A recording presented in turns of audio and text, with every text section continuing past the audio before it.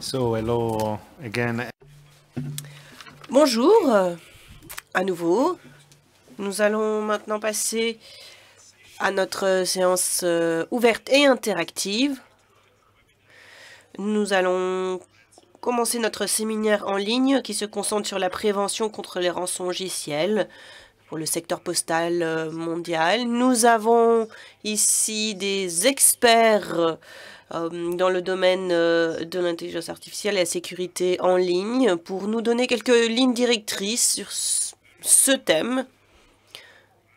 On peut le dire, un thème euh, particulièrement intéressant aujourd'hui, puisque il affecte particulièrement, évidemment, notre secteur, les particuliers, mais également les entreprises. Maintenant, le monde entier est concerné par cette question des rançongiciels.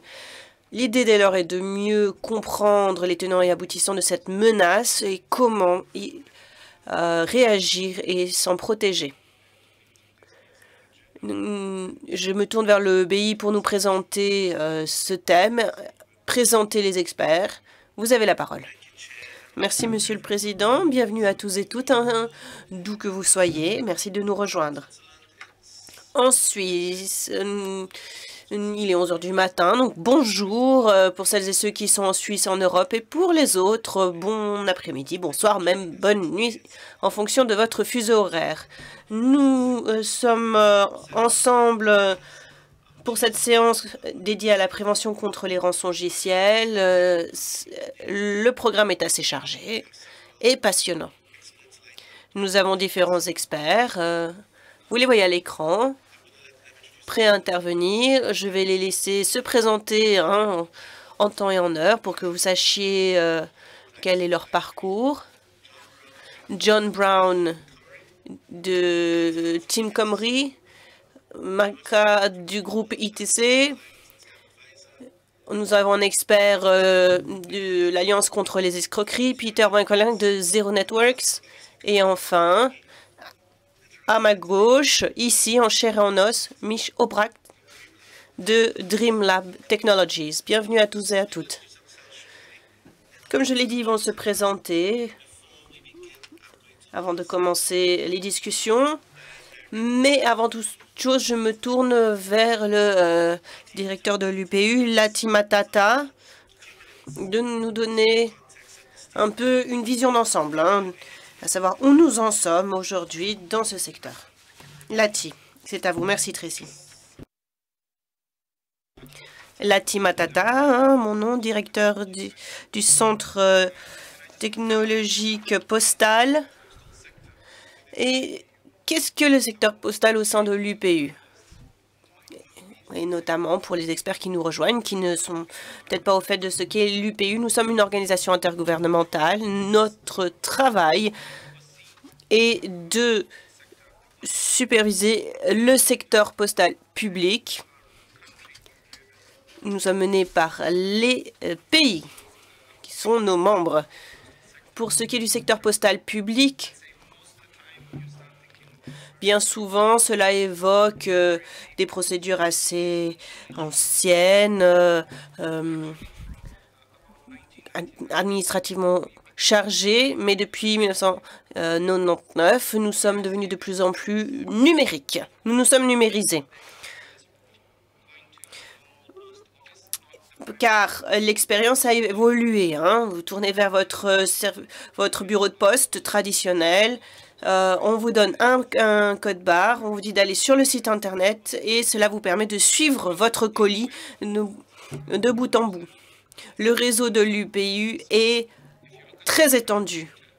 Si vous regardez euh, l'introduction à l'UPU, nous sommes un réseau de réseaux qui couvre 192 euh, territoires composés d'environ 200 opérateurs désignés avec des points d'accès postaux, avec 270 000 euh, points euh, de poste à l'échelle du monde. Donc, vous allez poster un colis, on vous donne un code barre, et puis, euh, par un coup de baguette magique, vous savez exactement où il se trouve. Ceci implique bien sûr des processus numériques assez complexes. Euh, avant même l'envoi du colis euh, physique jusqu'en 91, nous, on, se concentrait sur le suivi et la localisation. Puis nous avons peu à peu utilisé les données, non pas uniquement pour le suivi et la localisation, mais pour euh, les questions de reddition de compte, ceci depuis les années 2000. Ce qui est intéressant aujourd'hui, c'est que la tendance est que nous utilisions ces processus axés sur les données pour que des processus de dédouanement. Qu'est-ce que cela sous-tend? Tout d'abord, pour ces processus menés par euh, les questions douanières, les, informations d'identification sont numérisées et envoyé via par des voies numériques. Et ce qui est intéressant, c'est que nos processus opérationnels, physiques, sont également euh, menés par nos données, leur qualité et leur disponibilité.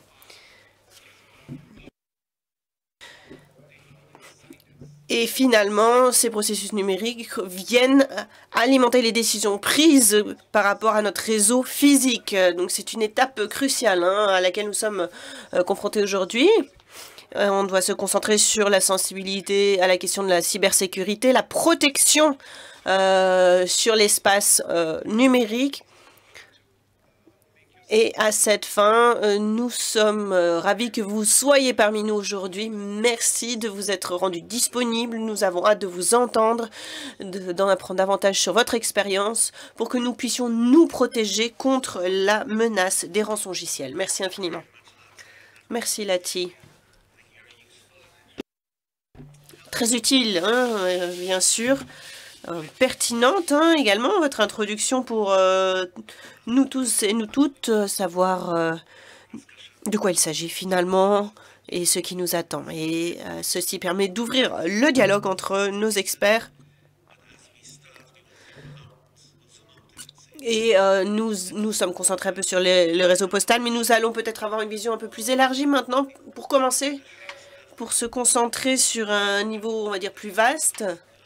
Et à cette fin, je vais me tourner vers George Abraham, professeur de Global Anti-Scam Alliance, euh, une alliance internationale contre les escroqueries. Euh, je vais lui demander de nous présenter ce que sont les escroqueries, ou scams en anglais. Il, permet d'établir un lien entre l'escroquerie et euh, les rançongiciels avec une vision un peu d'ensemble. Et puis à partir de cette vision d'ensemble, nous allons petit à petit euh, concentrer notre attention sur notre secteur. Merci infiniment. Est-ce que vous voyez mon écran? Oui, euh, je confirme. Nous voyons votre écran.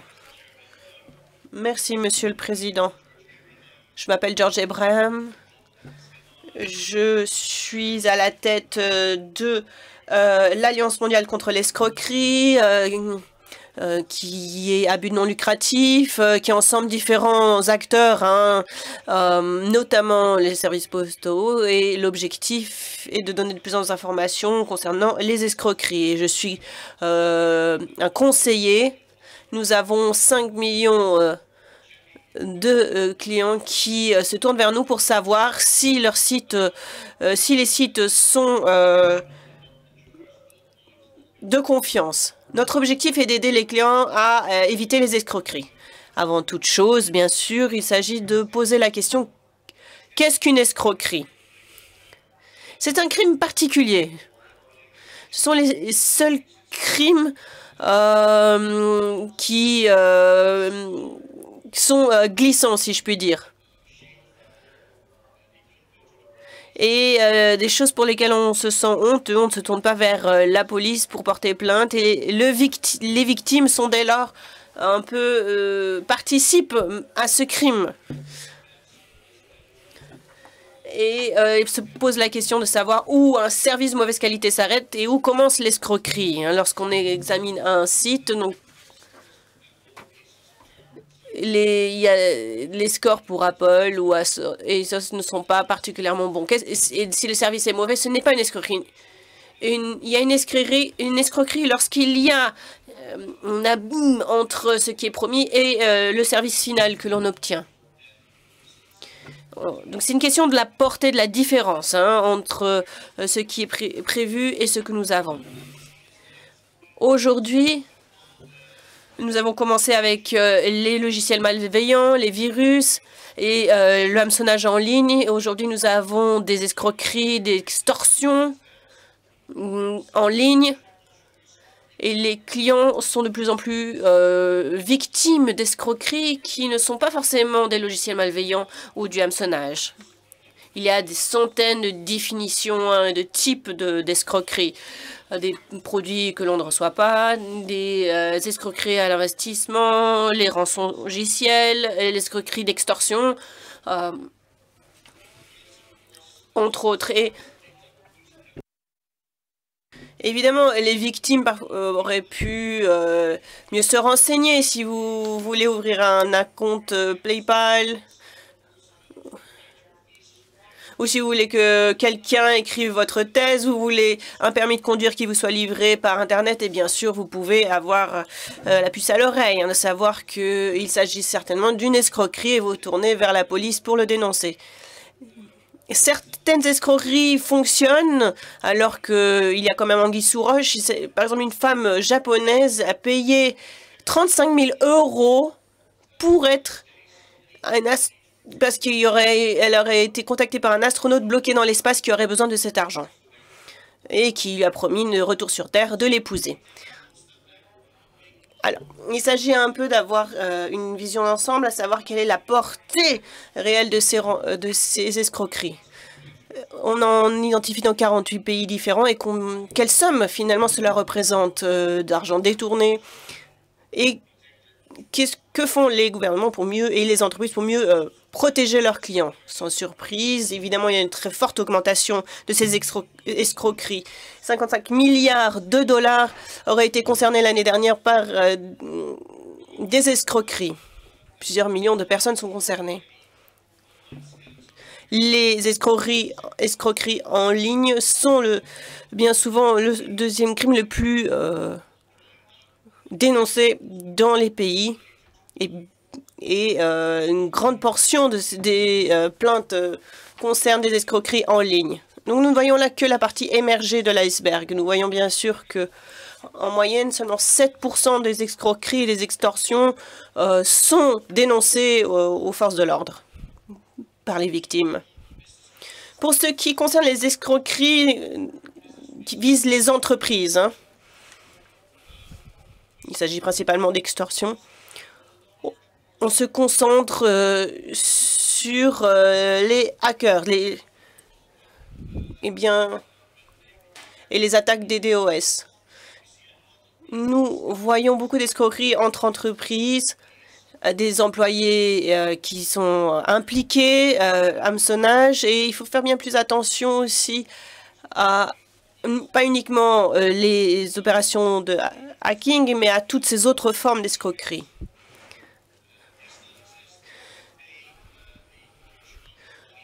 Il y a certaines escroqueries ou euh, voilà, euh, qui pourtant sont assez évidentes. Par exemple, payer des sommes colossales pour que l'on voit votre visage sur la une d'un magazine qui n'existe finalement pas ou que personne ne lit. Il y a également euh, de fausses commandes. Un site internet créé par une personne malveillante qui propose de vous livrer du matériel de bureau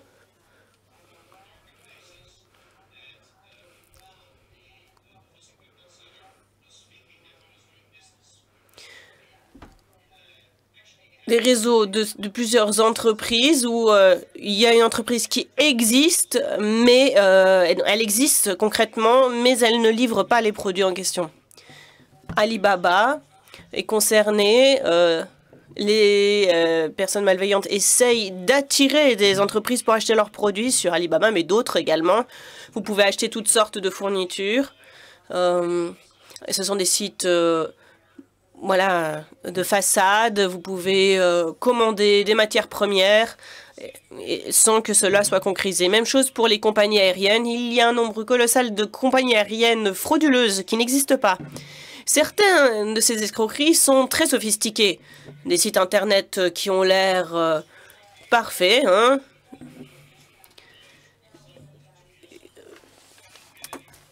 Et euh, bien souvent, voilà, ils, clament que c'est une entreprise qui existe depuis 25 ans. Le site internet, pourtant, n'a que quelques années, avec euh, toutes sortes d'informations non avérées. Et puis, il y a les fausses, les faux escroqueries. Vous recevez des courriels, on vous dit ah euh, vos données sont ont été volées, vous avez été victime d'une cyberattaque, etc. Et que ce sont de fausses alertes. Également, les escroqueries de recrutement, surtout pour les professionnels de cybersécurité dans les entreprises avec des logiciels malveillants. Vous, avez une invitation via LinkedIn, par exemple, qui vous dit on a un poste pour vous. Il y a un PDF qui est joint, soi-disant la description de poste, et c'est là où le logiciel malveillant se cache.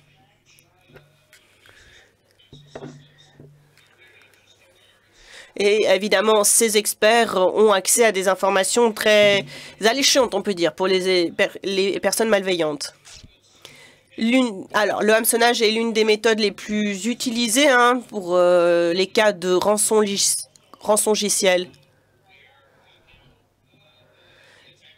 Bien souvent, on ne sait pas comment euh, euh, le criminel agit et euh, a accès aux informations. J'aimerais attirer aussi l'attention sur le risque de vos employés, vos propres employés, vos clients également. Vous voyez de plus en plus d'entreprises ciblées, non pas de manière intentionnelle par les employés, mais parce qu'eux-mêmes sont victimes d'escroqueries. Par conséquent, comme eux-mêmes ont été victimes d'une attaque, ils introduisent le logiciel euh, malveillant dans l'entreprise.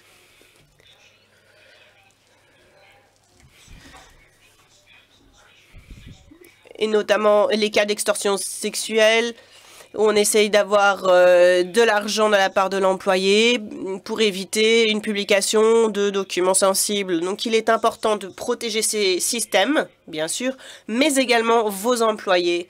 Pas uniquement contre le hameçonnage, les logiciels malveillants, mais les autres formes d'extorsion qui prennent pour cible vos salariés et vos employés. Alors j'aimerais vous présenter ce que l'on peut faire. On voit que euh, les choses évoluent très rapidement euh, selon euh, le Forum mondial économique mondial, 2,5% seulement des cas sont poursuivis. Alors comment essayer d'inverser la tendance? On dit souvent qu'il s'agit d'informer, informer, informer. Il y a une étude qui révèle que la sensibilisation ou l'information ne permet pas d'inverser la tendance. Parce que les victimes de l'escroquerie on se sent plus confiant finalement. Et parfois verse dans, la, dans le surplus de confiance. Et puis finalement sont pris pour cible par les euh, cybercriminels. Que pouvons-nous faire ensemble? Eh bien, le rôle de euh, cette alliance GSA mondiale contre l'escroquerie est d'impliquer le plus grand nombre de parties prenantes possible pour partager toutes les informations que nous avons sur les escroqueries entre les différents groupes de, de personnes euh, et, mais également euh, partager les informations. Tout d'abord, ce que nous pourrons faire, c'est utiliser euh, les données que vous, nous vous donnons, les adresses IP, euh, pour vous protéger, protéger vos utilisateurs et vos employés, mais également partager les noms de domaine avec nous pour que nous puissions voir s'ils sont concernés par des problèmes d'escroquerie. nous travaillons avec toutes sortes de clients pour et cela nous permet d'avertir les, euh, autres clients qu'il y a potentiellement une escroquerie. Et puis nous avons Check My Link, euh, qui est un outil disponible dans 10 pays, pardon, 15 pays, où l'on peut aller sur un site internet pour vérifier si euh, il y a risque d'escroquerie. Ceci conclut ma présentation. Je me tourne vers le président. Merci de m'avoir donné la parole. Merci, Georges. Une excellente introduction hein, au thème qui nous euh, occupe aujourd'hui. Ce thème plus vaste, hein, des escroqueries au sens large. Dans le secteur postal, nous pouvons être euh, affectés, bien sûr, par euh, toutes ces escroqueries en ligne Et c'est là une voie euh, d'accès pour des logiciels malveillants qui perturbent nos réseaux. Et c'est crucial de s'en rappeler car euh, tout au long de la discussion, nous devons bien comprendre comment mettre en avant la prévention contre les rançons logiciels. Ce n'est pas qu'une question purement technique. Il s'agit de savoir comment ils intègrent nos réseaux et nos environnements et cela se fait via les méthodes euh, que vous avez mentionnées, hein, les escroqueries, euh, entre autres, euh, notamment les rançongiciels. Alors, je pourrais, voilà, vous demander de clore votre présentation et je vais me demander aux collègues. Et je vous prie, s'il vous plaît, de respecter vos temps de parole, 5 à 7 minutes, par orateur et oratrice. Nous allons maintenant nous concentrer sur les rançongiciels avec une introduction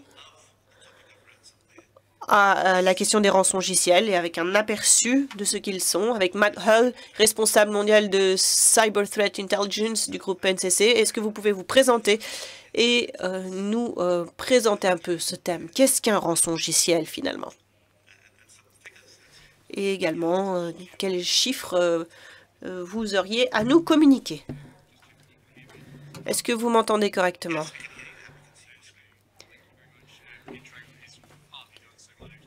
Merci. Donc, comme vous l'avez dit, je suis responsable monde pour euh, la question des menaces euh, en ligne euh, du groupe NCC qui touche différentes régions, différents secteurs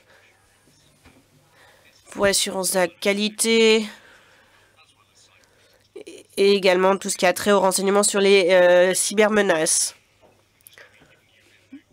je vais un peu vous euh, présenter ce que sont les rançongiciels. L'un des thèmes euh, euh, que l'on entend un peu partout, hein, bien sûr. Dans les secteurs plus techniques, si vous vous prémunissez contre ces menaces ou simplement si vous lisez votre journal, on en parle hein, quasiment tous les jours. Vous voyez ce terme, rançongiciel à longueur de journée, puisque tout le monde est concerné. Toutes les organisations dans le monde entier, quel que soit le secteur d'activité, quelle que soit la région, tout le monde est concerné. Et, évidemment, cela a une incidence sur les organisations qui euh, euh, travaillent dans le secteur postal. Qu'est-ce qu'un rançongiciel? Et d'où vient le terme? Eh bien, eh bien, euh, croyez-moi ou non, eh bien, cela fait longtemps que l'on connaît ce terme. Hein, depuis la fin des années 80. au début, on l'utilisait avec les disquettes et on vous faisait une, demande de rançon. Tout d'abord, il, s'intéressait aux données cryptées, c'est-à-dire empêcher d'avoir accès à certaines données à l'utilisateur euh, contre euh, une, une demande, une rançon, bien souvent. Demandait euh, le paiement d'une somme pour regagner la pleine utilisation de l'outil. Petit à petit, les rançongiciels se sont sophistiqués, bien sûr. Dans le début des années 2000 jusqu'à environ 2010, c'était concentré sur euh, euh, une prise possible de masse des euh, certaines organisations avec des logiciels malveillants, principalement avec des liens de hameçonnage, en utilisant les, certaines techniques précises, mais euh, aussi utilisant les euh, pièces jointes, euh, ajouter un courriel qui, paraît pourtant de confiance. Petit à petit, les capacités se sont développées, les rançongiciels sont devenus de plus en plus sophistiqués. Alors, alors on ne se concentre plus sur les individus en tant que tels, mais cible des systèmes dans leur ensemble, notamment la question quand sont arrivées euh, les crypto-monnaies. Cela a rendu la tâche bien plus facile euh, pour ces criminels euh, de se faire payer en crypto-monnaie, mais également de, voilà, de demander le versement de, de, crypto-monnaies qui sont bien plus difficiles à, suivre hein, par rapport à un versement courant nous avons des attaques de grande ampleur, notamment en 2017, hein, que nous avons entendu.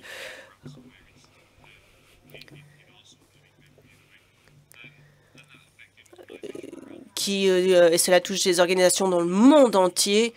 Euh, nous avons des, vers euh, de logiciels euh, malveillants qui se répandent dans tout un système avec des répercussions conséquentes et, et qui peuvent toucher l'ensemble du système d'une organisation. Aujourd'hui, on a ce concept de big game hunting, donc chasse euh, de grande ampleur, viser les grandes organisations qui sont plus à même euh, de verser des rançons euh, conséquences. il s'agit aussi d'exfiltrer certaines données. On parle de double extorsion, des données cryptées. Il y a une demande initiale, donc verser une somme pour recouvrer l'accès à certaines données mais certaines données sont aussi ensuite euh, publiées euh, sur des sites euh, ouverts à tous et avec tous les dégâts que cela engendre, des, notamment à la réputation de cette entreprise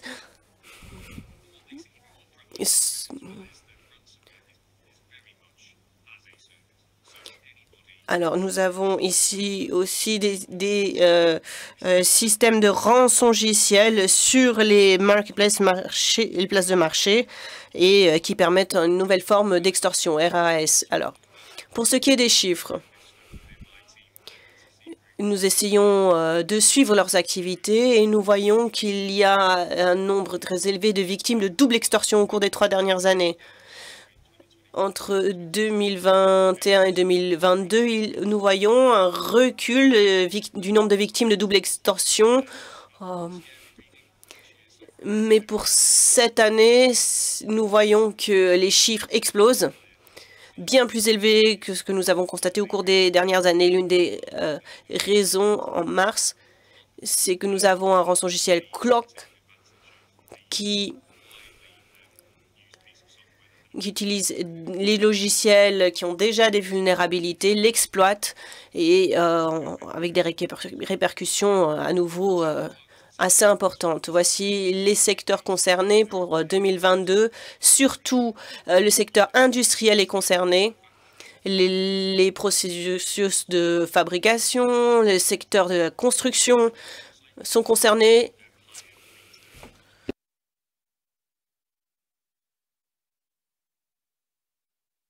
technologies, euh, notamment le secteur de la santé, l'éducation, euh, ne sont pas en reste. Alors, on voyant que euh, le secteur industriel est particulièrement concerné, puisqu'ils évoluent avec un environnement hautement informatisé. Et donc cela euh, nous permet de voir un peu d'où viennent les rançongiciels qui euh, sont pris pour cible et ce qui permettra, j'espère, de stimuler une certaine euh, discussion. Et nous publions ces informations via le Thread Pulse, comme on l'appelle. Vous pouvez vous inscrire pour recevoir les dernières informations, les statistiques et pouvoir vous informer. Merci infiniment. J'ai hâte de poursuivre la discussion. Merci. Thank you Matt. Merci, Matt. C'est des chiffres euh, frappants qui viennent d'être présentés. Et merci de vos explications concernant les rançongiciels. Merci de l'historique également. Je n'étais pas au courant. Je ne pensais pas que c'était aussi ancien. Donc vraiment, c'est très intéressant. Comme l'a dit matin. On en discutera après les présentations. Donc n'hésitez pas à poser vos questions dans le chat ou dans la boîte euh, questions-réponses Q&A. Et euh, bien sûr, les conférenciers vont pouvoir répondre également. Maintenant,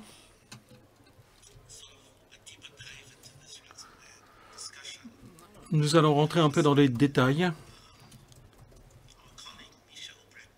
Et c'est notre collègue Michel Brett de Dreamline Technologies qui va nous parler de ces rançongiciels pour qu'on comprenne bien de quoi on parle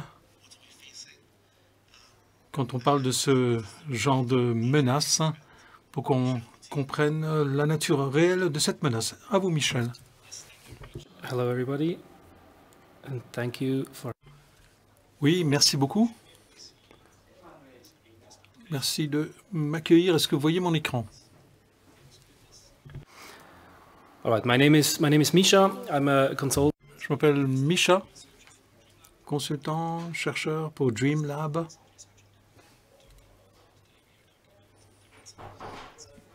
Et donc, on va parler aujourd'hui du monde des rançongiciels.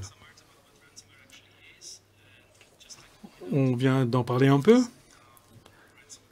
Mais je voudrais vous dire euh, comment les euh, pirates deviennent de plus en plus innovants. On a parlé de double extorsion, c'est-à-dire que euh, on empêche l'accès à des données, on demande une rançon, mais en même temps, on va plus loin.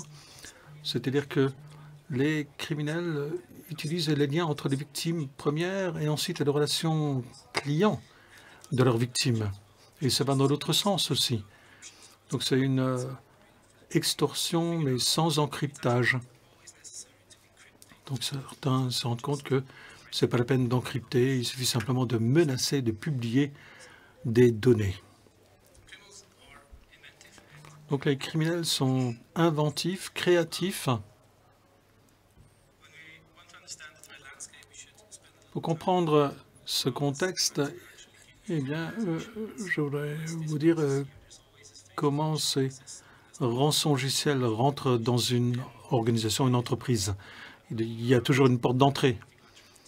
Et ensuite, euh, on rentre dans le réseau. Au sein de l'organisation, on vole des données. Un exemple. Les criminels recherchent les police d'assurance dans les boîtes aux lettres des victimes. Et donc, en fait, euh, la rançon va être euh, équivalente au montant de l'assurance. Donc, euh, le montant demandé par la rançon correspond exactement au, montant qui est remboursé par l'assurance. Et il y a une automatisation accrue donc il y a des outils, des bases de données qui permettent aux criminels d'automatiser leurs activités. Et donc il y a une spécialisation, une division du travail. Et on voit des groupes spécialisés dans l'accès initial aux organisations et ensuite ils vendent cet accès initial à d'autres groupes spécialisés dans l'installation des logiciels malveillants et dans l'extorsion euh, de l'argent. Parlons tout d'abord de l'accès initial. On a déjà pas mal parlé de hameçonnage. Et euh, euh, bien sûr, l'élément humain est un dénominateur euh, commun. Les 20% qui restent, c'est des services qui sont publiés sur l'Internet ouvert, qui sont compromis, et donc on utilise une voie indirecte. Aussi un exemple on a parlé de phishing, de hameçonnage. Donc, on utilise chat GTP pour euh, rédiger des courriels de hameçonnage. Autre moyen, incluant l'élément humain, c'est-à-dire qu'on achète une personne pour avoir un accès à une organisation. Vous avez un groupe qui s'appelle Lapsus, qui offre euh, qui offre euh, de l'argent à quelqu'un qui va leur donner accès à l'organisation. Vous avez ici euh, quelqu'un qui vend l'accès à des organisations sur un forum, un forum russe. Là, vous avez une photo du Centre suisse de cybersécurité qui rappelle qu'il faut combler les vulnérabilités parce que parfois les systèmes restent sur Internet ouverts pendant très longtemps alors que les points faibles, en fait, euh, alors qu'on ne remédie pas aux points faibles.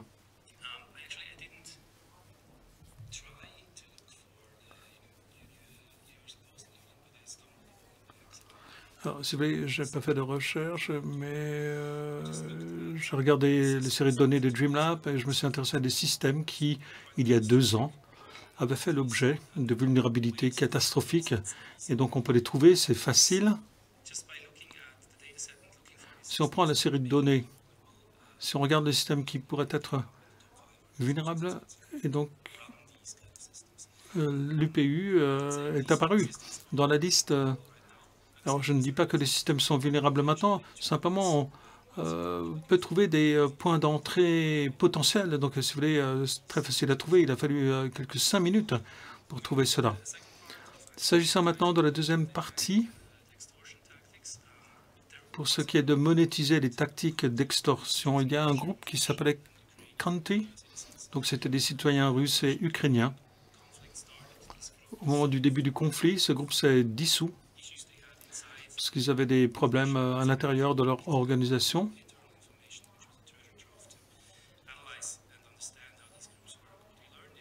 Et ce qu'on a appris, c'est que ces groupes d'arnaqueurs fonctionnent comme des entreprises. Ils ont un département des ressources humaines, il y a une hiérarchie, il y a des fonctions différentes, des testeurs de programmes, des euh, spécialistes qui ont tous leur rôle à jouer au sein de l'organisation. Alors, euh, que se passe-t-il quand on est compromis? Vous avez ici les résultats de deux rapports de Stoffos. Donc, la moitié des victimes euh, réussissent à récupérer leurs données parce qu'ils ont des backups. Un quart paye la rançon et un autre quart perd les données et d'autres trouvent d'autres moyens pour récupérer les données. il y a parfois des outils de, de décryptage euh, gratuits. Euh, et donc, euh, c'est une possibilité. Est-ce qu'on peut récupérer vos données? Ça dépend. Si vous avez un backup, ça peut marcher. Parfois, il y a des outils de décryptage. Si vous payez, il n'y a aucune garantie que vous retrouverez vos données. Seul environ 65% des victimes qui payent récupèrent leurs données. Donc il ne faut pas l'oublier. Enfin, un dernier mot, c'est une extrapolation.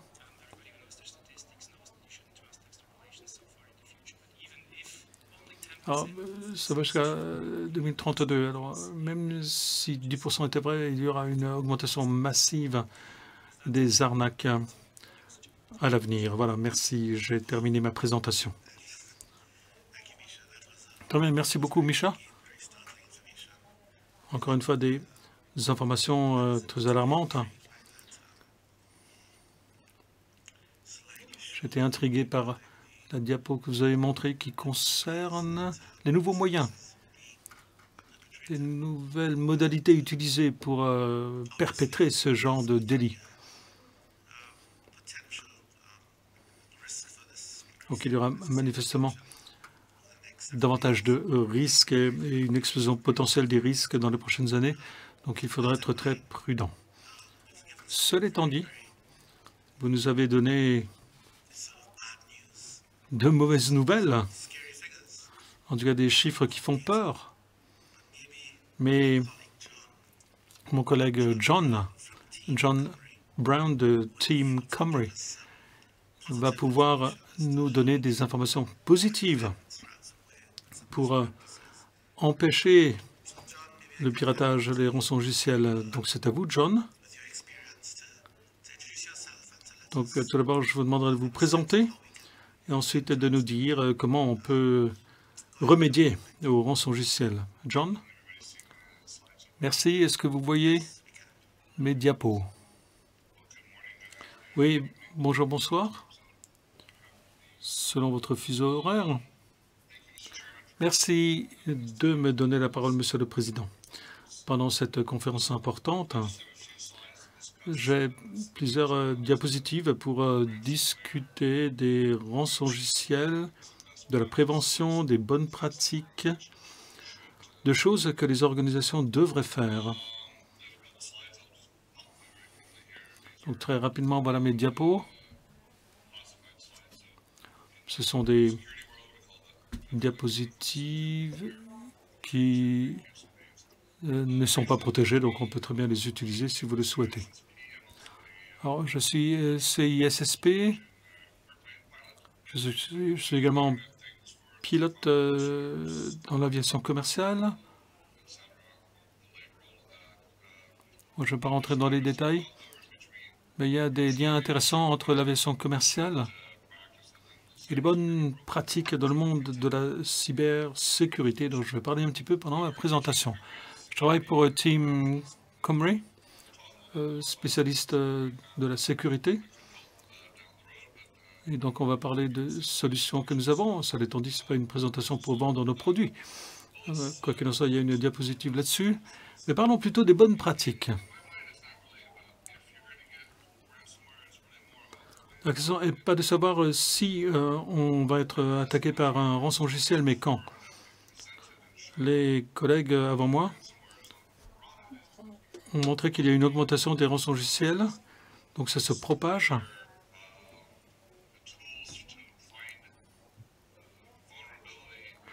Et donc, il y a des outils pour identifier les vulnérabilités, pour entrer dans une organisation, pour pénétrer dans les systèmes. Et il y a beaucoup d'organisations qui sont organisées de manière verticale. Et donc, euh, euh, il y a beaucoup d'organisations qui n'ont pas beaucoup euh, réfléchi, qui ne craignent pas les rançons logiciels parce qu'elles n'y ont pas pensé.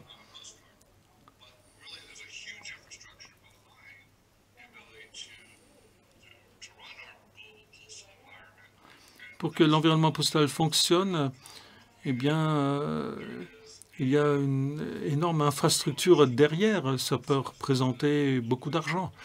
Et donc, ça peut être euh, une cible potentielle pour les rançons. Alors, pour ce qui est des différents acteurs, le, risque d'être pris euh, est très faible les récompenses sont très élevées, donc il ne faut pas l'oublier. Donc euh, le problème, ce n'est pas de savoir si, mais plutôt de savoir quand on va être attaqué. Et pour euh, se défendre, il faut avoir ce qu'on appelle des backups hors ligne. Donc il ne faut pas des lieux de stockage connectés à, à Internet, donc il faut un backup qui soit dans un autre lieu qui n'est pas connecté à votre réseau. Et donc, il faut une séparation physique entre les deux. Ensuite, il faut tester les backups.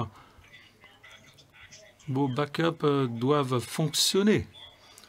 Donc, euh, je travaille depuis suffisamment longtemps et je me souviens qu'il y avait des backups papier à l'époque.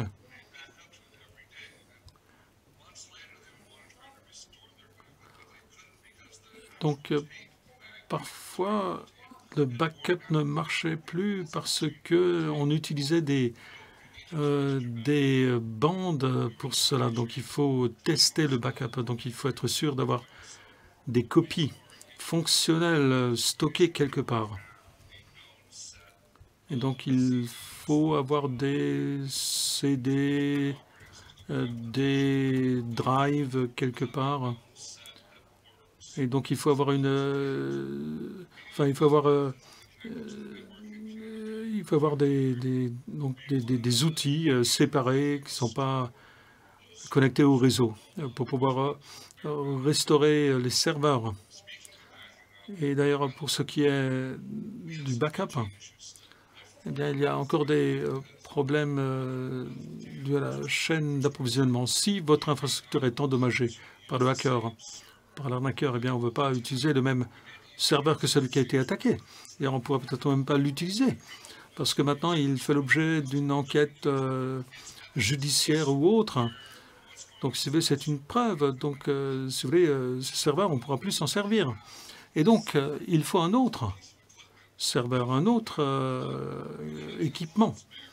Et donc, il faudra avoir, si vous voulez, quelque chose, enfin, donc un autre serveur qui soit différent et disponible pour ensuite pouvoir euh, reconstruire euh, l'infrastructure. Il y a des banques, il y a quelques années, euh, où on, avait, on gardait des serveurs IBM. Et donc, on, les, on mettait dans des lieux de stockage euh, si jamais il y avait eu un problème avec euh, le principal ordinateur. Et donc, si vous voulez, il faudrait peut-être essayer de, faire quelque chose euh, d'équivalent dans le monde d'aujourd'hui. en même temps, euh, il faut avoir évidemment un plan A, mais aussi un plan B. En tant que pilote, nous avons toujours un plan B. Donc on sait toujours où on va vers où on va se détourner s'il y a un problème météorologique. Et donc il faut faire la même chose dans euh, le monde de la prévention des rançongiciels, notamment pour essayer d'atténuer les risques. Prenons quelques vecteurs. Euh, essayons de voir comment les gens sont infectés. Donc il euh, faut tout d'abord voir quels sont les ordinateurs qui sont exposés. Ensuite, il faut savoir également qui est connecté à votre réseau.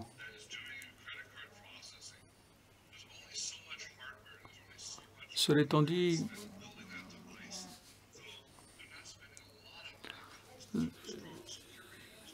souvent on ne dépense pas suffisamment d'argent pour assurer la sécurité dans les équipements. Donc il s'agit de voir si euh, un dispositif est vulnérable.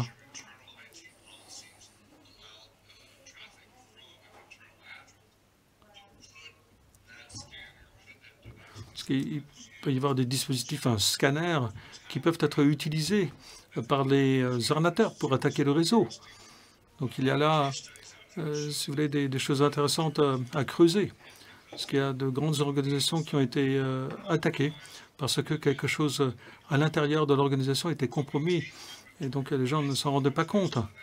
Donc il faut faire une sorte d'inventaire.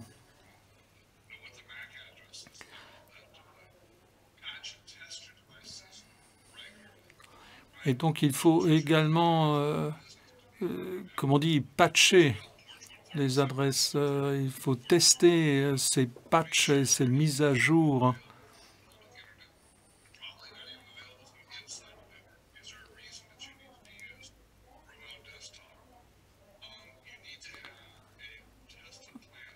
Ensuite, il faut également un plan A et un plan B testé. Il faut former le personnel.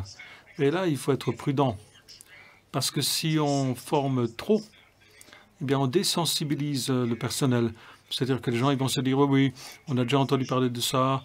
Euh, s'il y a une attaque euh, euh, de hameçonnage, eh bien, je saurais quoi faire. Mais il y a une différence entre le hameçonnage réel et le hameçonnage quand on en parle pendant l'information. Et donc, il faut éviter de désensibiliser les employés. Donc il faut que les employés puissent identifier certains indicateurs. Il faut également les former à ne pas réagir à des messages urgents. Et il faut tout d'abord euh, réfléchir, évaluer, et ensuite confirmer euh, ce qu'ils pensent avant d'agir. Euh, parfois, il y a des problèmes avec les emails parce que quelqu'un va se faire passer pour le PDG et quelqu'un envoie un mail et dit j'essaie de conclure cette affaire et donc il faut envoyer 300 000 dollars. Et ensuite, on va conclure cette affaire qui est formidable. Et donc, il faut le faire rapidement, allez, tout de suite. Et les gens ont tendance à ne pas s'arrêter à réfléchir à, l'email, parce que ça a l'air d'être l'email du PDG. Et donc, euh, il a une information et donc euh, il veut conclure l'affaire immédiatement. Et le cybercrime aujourd'hui doit être traité comme euh, une affaire commerciale. C'est des gens qui se lèvent le matin, euh, donc euh, ils réfléchissent à leurs recettes, à leurs pertes, comme on le fait nous dans nos entreprises. Simplement, eux, ce qu'ils font, c'est malveillant. Et nous, ce qu'on fait, ça n'est pas malveillant. Et donc, ils vont essayer de voir comment obtenir des informations pour se faire passer pour euh, ce PDG euh, ou le directeur des ventes, par exemple, pour vous amener à réagir rapidement immédiatement. Donc, euh, vous n'allez pas réfléchir, évaluer, confirmer avant d'agir. Donc, ils vont utiliser des marques DNS sec. Et quand on reçoit un email de votre part, il faut que quelqu'un sache que c'est un mail, un nom de domaine qui est valable. Euh, donc, ce sera beaucoup plus difficile euh, à contrefaire. Donc, comme dit, encore une fois, il faut avoir un plan B. Votre email, votre réputation, la réputation du nom de domaine, c'est euh, un bon moyen pour faire de la prévention et pour créer la confiance. Ensuite, soyez alerte. Donc, euh, regardez ce qui se passe sur les réseaux. Souvent, euh, ces arnaqueurs euh, font une sorte de reconnaissance. Ils essaient de voir où il y a des vulnérabilités. Alors, ils utilisent des outils de recherche pour essayer de voir ce qui est vulnérable et disponible. Donc, soyez en alerte. Essayez de voir comment votre réseau fonctionne normalement. Suivez le système, utilisez l'automatisation si c'est possible, pour essayer de signaler des choses qui sortent de la norme. Moi, tous les matins, eh bien, je regardais mon écran pour essayer de voir si le réseau fonctionnait normalement pendant la nuit ou pas. Donc, euh, euh, en 10 secondes, eh bien, euh, quand je regardais des graphiques, eh bien, je, voyais ce qui, ce qui allait de travers lorsqu'il n'avait pas fonctionné durant la nuit. Comment planifier? Donc il faut vraiment un plan testé, parce que sinon on ne sait pas très bien ce qu'on va faire une fois qu'on est attaqué. Alors, prenons un avion, donc euh, on traverse l'Atlantique, il y a un problème de moteur, et l'équipage l'équipage vérifie le plan qui va lui dire exactement ce qu'il faut faire si le moteur tombe en panne. Et on a une liste de contrôle. Pourquoi? Parce que nous, les humains, quand on est sous stress, eh bien, on a une vision euh, en quelque sorte. Et donc, avec une liste de contrôle, eh bien, on est certain que l'équipage saura quelles sont les étapes à suivre pour contribuer à régler le problème de la panne du moteur et pour que l'avion puisse continuer à voler. Alors ça marche très bien pour l'aviation, alors pourquoi ça ne marcherait pas dans le monde euh, de la cybersécurité. Donc il faut avoir un plan, un plan qui documente ce que vous devez faire, les étapes à suivre.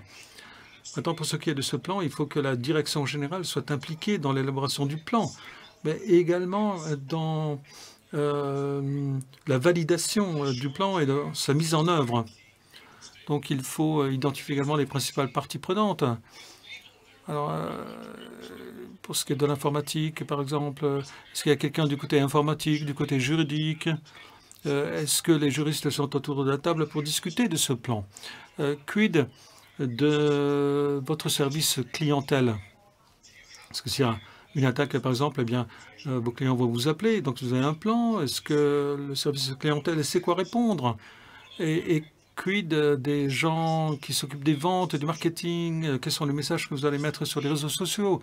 Et euh, qui est le responsable du plan? Très souvent, ce n'est pas un cadre de la direction générale, c'est peut-être quelqu'un qui s'occupe davantage de l'exécution du plan. Donc, veillez à ce que la personne responsable ne soit pas aussi la personne qui doit communiquer le plan à tout le monde parce que son, son job, sa fonction, c'est d'exécuter, d'appliquer le plan. Donc il faut que tous ces gens soient autour de la table quand on élabore un plan. Voilà, pour résumer, un certain nombre d'étapes à suivre dans le domaine euh, de l'atténuation des euh, risques ou de la prévention des rançongiciels. Donc il faut élaborer un plan euh, savoir ce qui est vulnérable dans votre organisation, faire un inventaire des vulnérabilités et ensuite prendre des initiatives pour sécuriser les dispositifs dans le cadre du réseau. Et ensuite, savoir comment fonctionne le réseau. Qu'est-ce qui se passe dans le réseau? Qu'est-ce qui se passe dans l'entreprise? Ceux qui vont vouloir vous voler vont être créatifs et vont essayer de trouver les moyens pour vous voler. Et donc, notre job, c'est de leur rendre la vie plus difficile. Voilà. Merci beaucoup, John. Vous avez dit un certain nombre de choses intéressantes. Vous avez parlé notamment de la question du backup. Et je me souviens,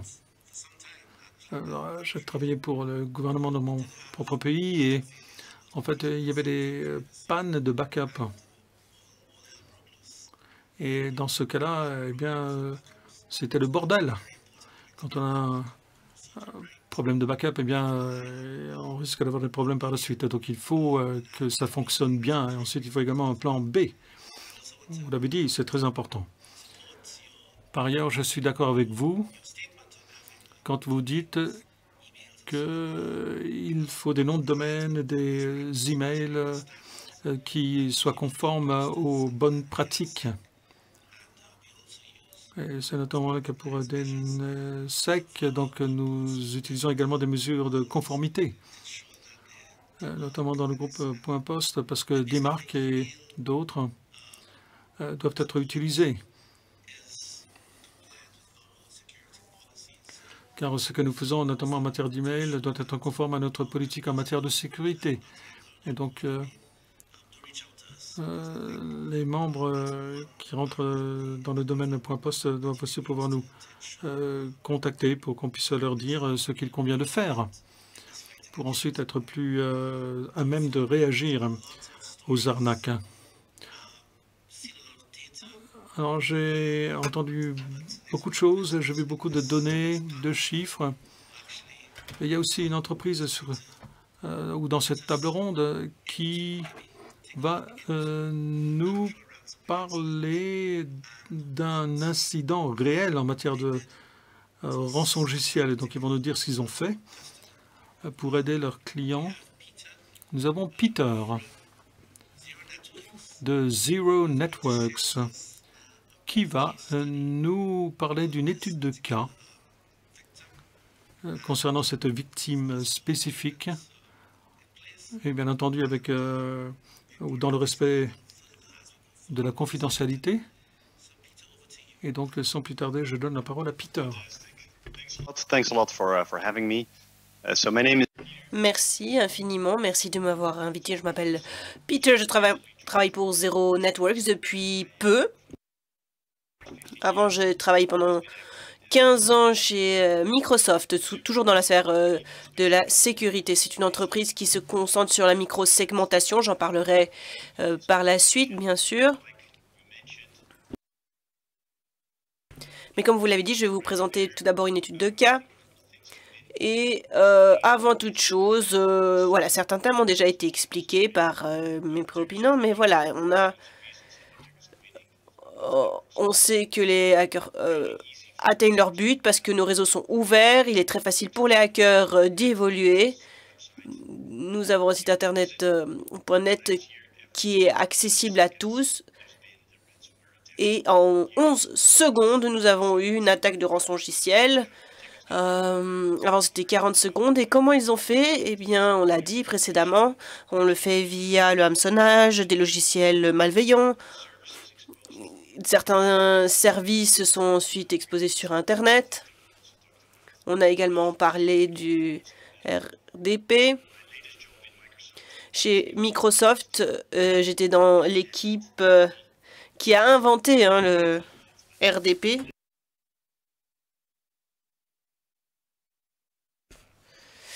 Donc je suis assez au fait de cette idée. On remonte au, euh, à l'année 2017. Une grande entreprise financière en Europe est concernée. Euh, elle revient du, repas de midi. Et euh, au lieu d'avoir une image habituelle hein, qu'il a sur son ordinateur, cette entreprise, cette personne, cet employé, quelque chose est apparu, un message assez déstabilisant un message qui dit tous euh, vos messages ont été chiffrés. Après paiement, vous recevrez un, mot de passe qui vous permettra de déchiffrer euh, et d'avoir accès de nouveau à vos euh, messages et informations. Il s'appelle de Bad Rabbit pour les utilisateurs allemands et turcs notamment, mais comme tout virus dans le monde réel d'ailleurs, hein, ces virus informatiques sont assez euh, ils peuvent se répandre très rapidement. Il est assez difficile de les euh, d'empêcher leur propagation. Il y a différentes manières euh, pour un rançon logiciel de toucher une entreprise. Il s'agissait en fait d'un installateur flash, ça ressemblait à cela, et la personne l'avait installé. Ce qu'il est important de comprendre ici, c'est que cet utilisateur, confronté à un rançon logiciel, hein, n'a pas installer le, le Flash Player que vous voyez à l'écran. Vous le voyez, ce n'est pas une réelle mise à jour. Vous le voyez grâce à l'URL. Et c'est bien souvent difficile d'identifier la fraude de, l'original. Et on vous dit, euh, il s'agit de mettre euh, à jour quelque chose. On pense que l'on a fait la bonne, la bonne chose, mais finalement, il s'agissait d'un logiciel malveillant. On ne s'en rend même pas compte. Donc, ce qu'il faut retenir de cette euh, étape, c'est qu'il y aura toujours le patient zéro. Il y aura toujours un appareil qui sera compromis, quelles que soient les formations que vous donnez. Euh, il y aura toujours quelque chose qui sera écrit, euh, voilà, gagner un iPad, gagner un appareil, puis quelqu'un voudra cliquer. Et il y a différentes euh, manières de vous présenter cela.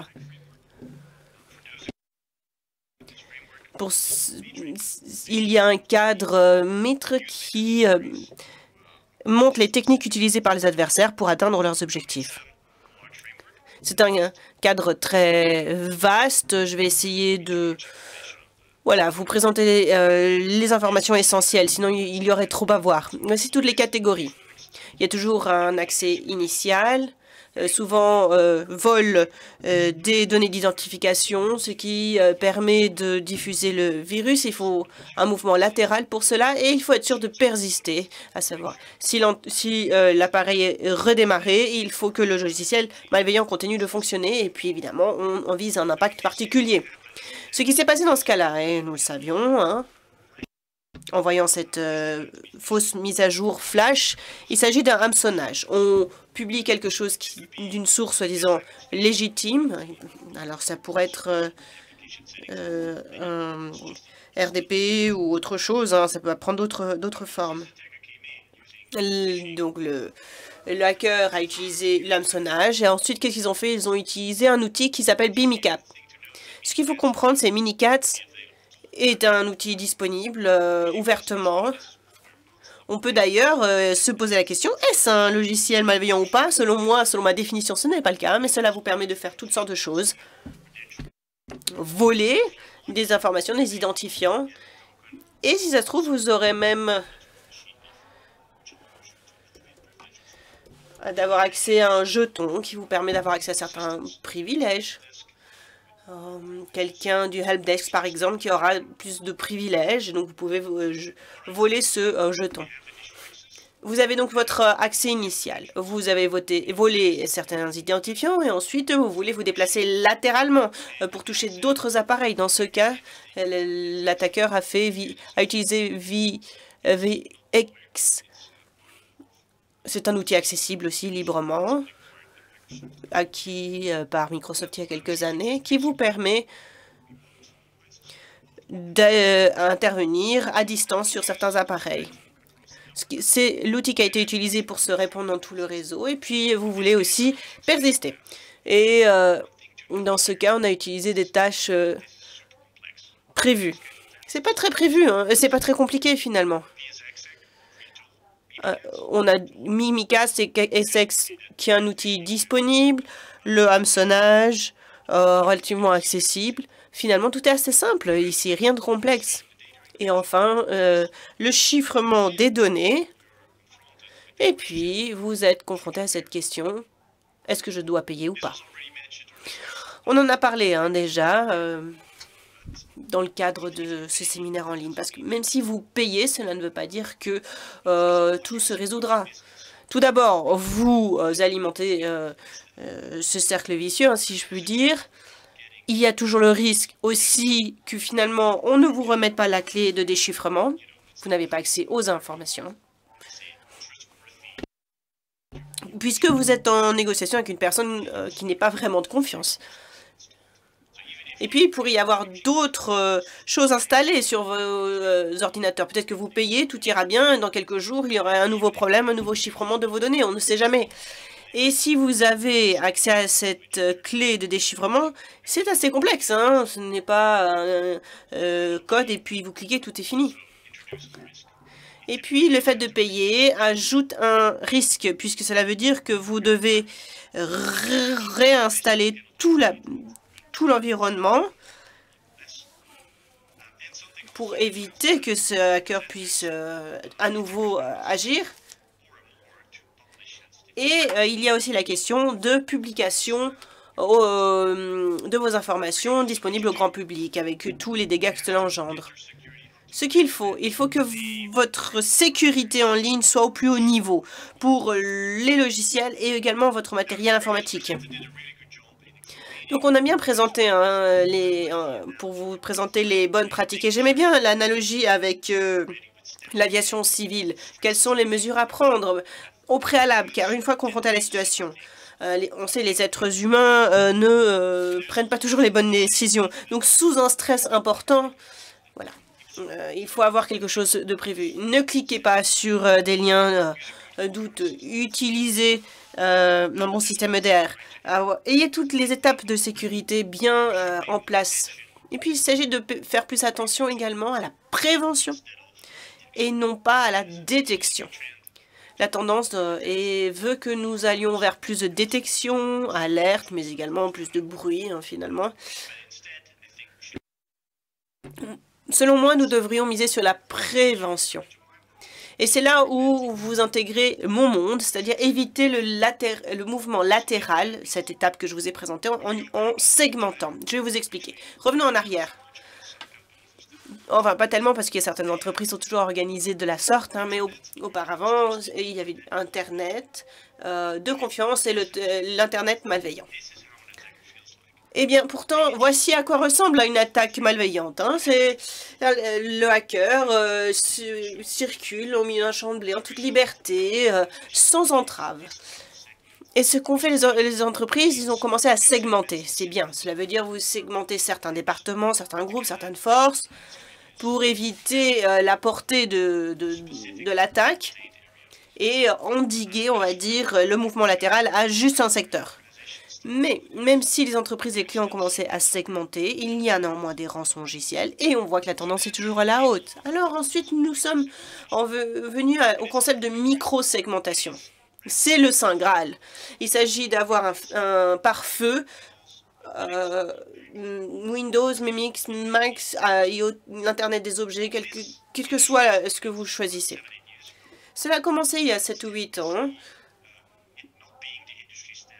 Ce n'est toujours pas pourtant la norme hein, dans, le secteur. Pourtant, c'est très prometteur. Euh, cela veut dire que euh, les promesses ne sont pas toutes euh, respectées. Eh bien, ce que je, je vous recommande, c'est que si vous optez pour une solution de micro-segmentation, utilisez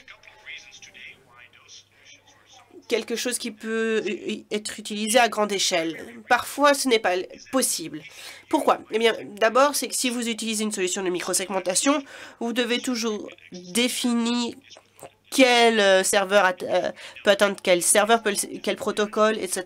Et puis finalement, vous ne faites que euh, gérer des règles de gestion de réseau. Vous avez besoin de toute armada d'ingénieurs pour gérer tout cela. Ensuite, les agents non nécessaires qui peuvent euh, et il faut les éviter puisqu'on peut apporter des problèmes de sécurité.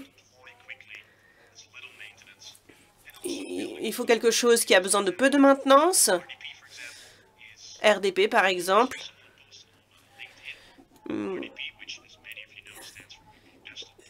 Remote Desktop Protocol, le protocole de desktop à distance, euh, vous permet de voir que, par exemple, euh, via quelque chose sur LinkedIn, euh, d'apparence de confiance, vous dira « Attention, attention, rançon logiciel ». Donc, ce que je vous recommande, dans le secteur postal, ce n'est peut-être la norme, mais on le voit dans le secteur financier plutôt, c'est de s'assurer que vous ayez un NFA, euh, RAM ou quels que soient ces protocoles de privilèges que les, euh, informaticiens utilisent, mais également euh, les hackers. Essayez de segmenter au maximum. Si vous faites une bonne segmentation, voilà plutôt à quoi ressemblerait la vie d'un hacker. Il est bloqué. Évidemment, il peut toujours y avoir un actif qui est compromis, mais ils ne peuvent pas euh, bouger latéralement. Si vous avez une bonne solution de segmentation, vous pouvez couvrir 70% du réseau qui est protégé. C'est, je pense, une portion tout à fait honorable. Donc, je vous invite vraiment à vous pencher sur cette question. Pour euh, conclure, voici quelques euh, messages clés. Donc, insister sur la prévention et non pas la détection avoir plus, euh, d'avoir de plus en plus d'alertes et être complètement perdu dans une multitude d'alertes ne sert à rien et trouver le bon équilibre essayez l'ordinateur le, plus sûr et finalement celui que vous n'utilisez pas. Donc, essayez de rationaliser, utiliser uniquement ce qui est nécessaire. Et essayez de tendre à une quasi-perfection.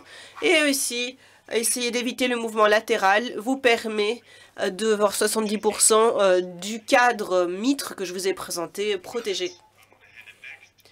Et voilà, ceci m'amène à la fin de ma présentation. Je vous rends la parole, Monsieur le Président, et je suis ravi, et je le serai, de répondre à vos questions, vos commentaires. Merci. Merci, Peter. Vous pouvez euh, cesser le partage d'écran.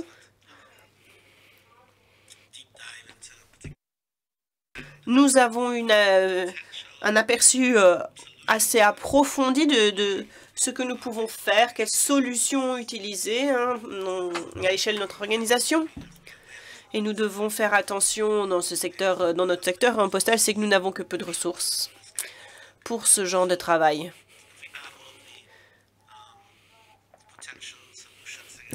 Donc si nous ajoutons tous les tous les outils, euh, comme vous l'avez dit, nous pourrions constater que il est vrai que la prévention devrait avoir notre euh, faveur.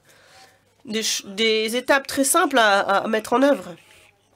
Euh, une chaîne de valeur qui peut être complexe, avec des méthodes plus complexes, bien sûr, mais on devrait plutôt revenir aux fondamentaux, être plus résilient à l'échelle technologique et humaine. J'ai bien apprécié euh, l'image du train. Donc il faut pouvoir trouver le bon équilibre, hein, comme vous l'avez dit, entre ce, qui, ce que vous avez besoin de faire, mais ne pas aller trop loin. Car, comme vous l'avez dit, l'ordinateur le plus sûr est celui que vous n'utilisez pas. Donc vraiment revenir euh, au, strict minimum dont nous avons besoin. Très bien, merci. Ceci clôt euh, la séance des présentations. Nous avons ici, euh, nous pouvons commencer les, discussions en chair en os avec Micha qui est ici avec nous de Dreamlab. À ma droite, nous avons le président du groupe Point Poste avec nous qui peut tout à fait intervenir. Et puis, Finalement, ce que nous souhaitons, c'est que vous tous et toutes participiez hein, à cette séance d'interaction. Si vous avez une question, nous avons euh, la section Q&A, questions-réponses. Et, et s'il n'y a pas euh, de questions, nous allons continuer sous le format d'un talk show, c'est-à-dire, euh, voilà, tout à chacun s'exprime. Si vous souhaitez prendre la parole, indiquez-le dans le chat. Vous pouvez lever votre main virtuelle et on vous donnera la parole. Nous allons commencer avec une question très simple. Et je pense que bon, elle a été déjà en partie répondue.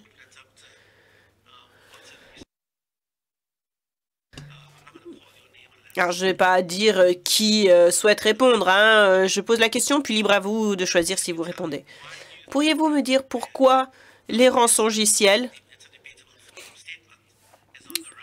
et euh, que les rançongiciels sont à la hausse, même si euh, on a vu que c'était plutôt une tendance avec des hauts et des bas, mais la tendance globale est à la hausse. Certains types de rançongiciels euh, reculent, d'autres explosent. on l'a dit, hein, l'escroquerie est à la hausse, tout simplement. Et quelle que soit la, forme utilisée, notamment les rançongiciels.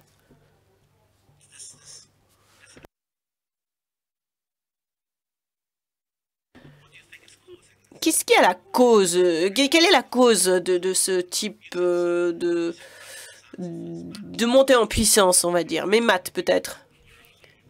Oui, tout à fait. Il y avait cette tendance euh, à la hausse euh, progressive hein, du recours au rançongiciel. C'est un, modèle rentable hein, pour les groupes criminels. C'est assez particulier pour les dernières années car il y a eu euh, de nombreux événements géopolitiques, la guerre en Ukraine, la Russie. Cela a eu une incidence euh, conséquente sur les opérations criminelles hein, en Russie, en Ukraine.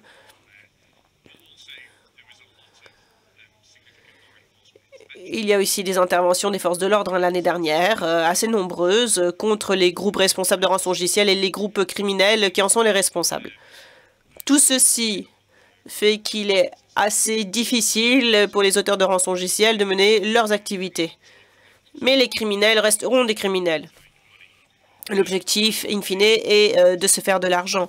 Et euh, c'est euh, un, modèle commercial très, très rentable. Hein. Il y a ce, chiffrement à la base, mais maintenant, les organisations collectent de plus en plus d'informations numériques qui ont trait à la propriété intellectuelle et autres identifiants. Et ce sont là des biens qui peuvent être maintenant monétisés et ce que Micha a dit, maintenant, l'approche est plutôt euh, vers l'exfiltration des données et, moins euh, au chiffrement de ces données, donc l'exfiltration pour l'utilisation. Et ceci explique la euh, montée en puissance en mars, puisqu'il s'agit surtout d'une question d'exfiltration de données, non pas de chiffrement des données. Et je pense que ce sera la tendance pour le restant de l'année. Merci, Matt. John, vous souhaitez rebondir? Oui, nous devons nous rendre compte que c'est une question euh, de sous et il faut des... Le rançongiciel euh, est un outil qui a un retour sur investissement euh, très important. Les, les, acteurs qui l'utilisent s'en sortent plutôt bien. Ce sont des milliers, millions de dollars utilisés qui circulent.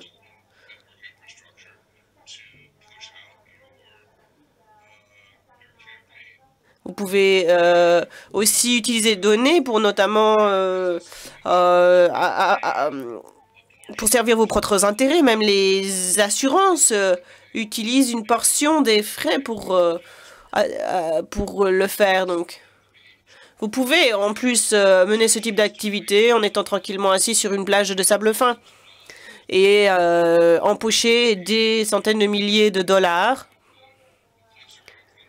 sans crainte d'être inquiété par les forces de l'ordre.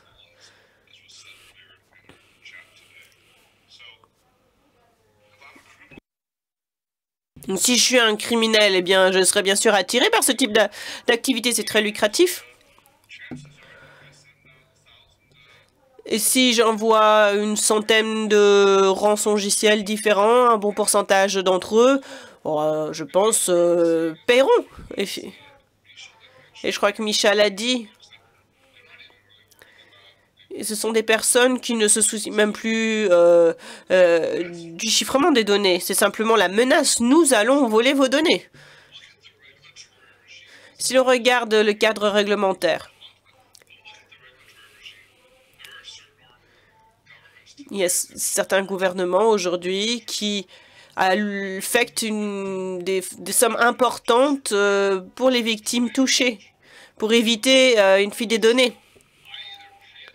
C'est soit je paye euh, la rançon pour éviter qu'il fuite les données ou je dois euh, payer, verser une amende par, parce que les autorités réglementaires vont venir après moi du fait de cette fuite de données. Donc,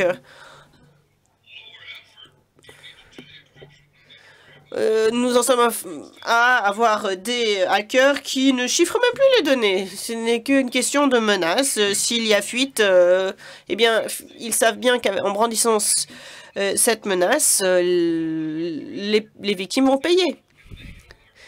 Et puis, si vous exfiltrez les données, d'autres groupes vont pouvoir les utiliser, les déplacer de manière horizontale, et puis, on, on, voilà, en tirer profit on a envie de dire, mais on aimerait tous euh, entrer dans ce, dans ce business, si je puis dire. Oui, euh, je, vois que c'est assez osé hein, comme déclaration, mais oui, c'est une réalité, tout à fait, c'est une réalité. George, vous souhaitez intervenir? Oui, je vois que John euh, pense se reconvertir? Non, bien sûr, une petite boutade, mais je pense que nous avons été naïfs. Nous n'en sommes qu'au début. Dans le secteur du commerce en ligne, en 2002, on, pensait que seulement 10, 20% des, euh, des, achats se feraient en ligne et maintenant c'est 99% et c'est la même chose pour la criminalité. Peu cher, peu d'investissement, quasiment aucun risque d'être d'être pris.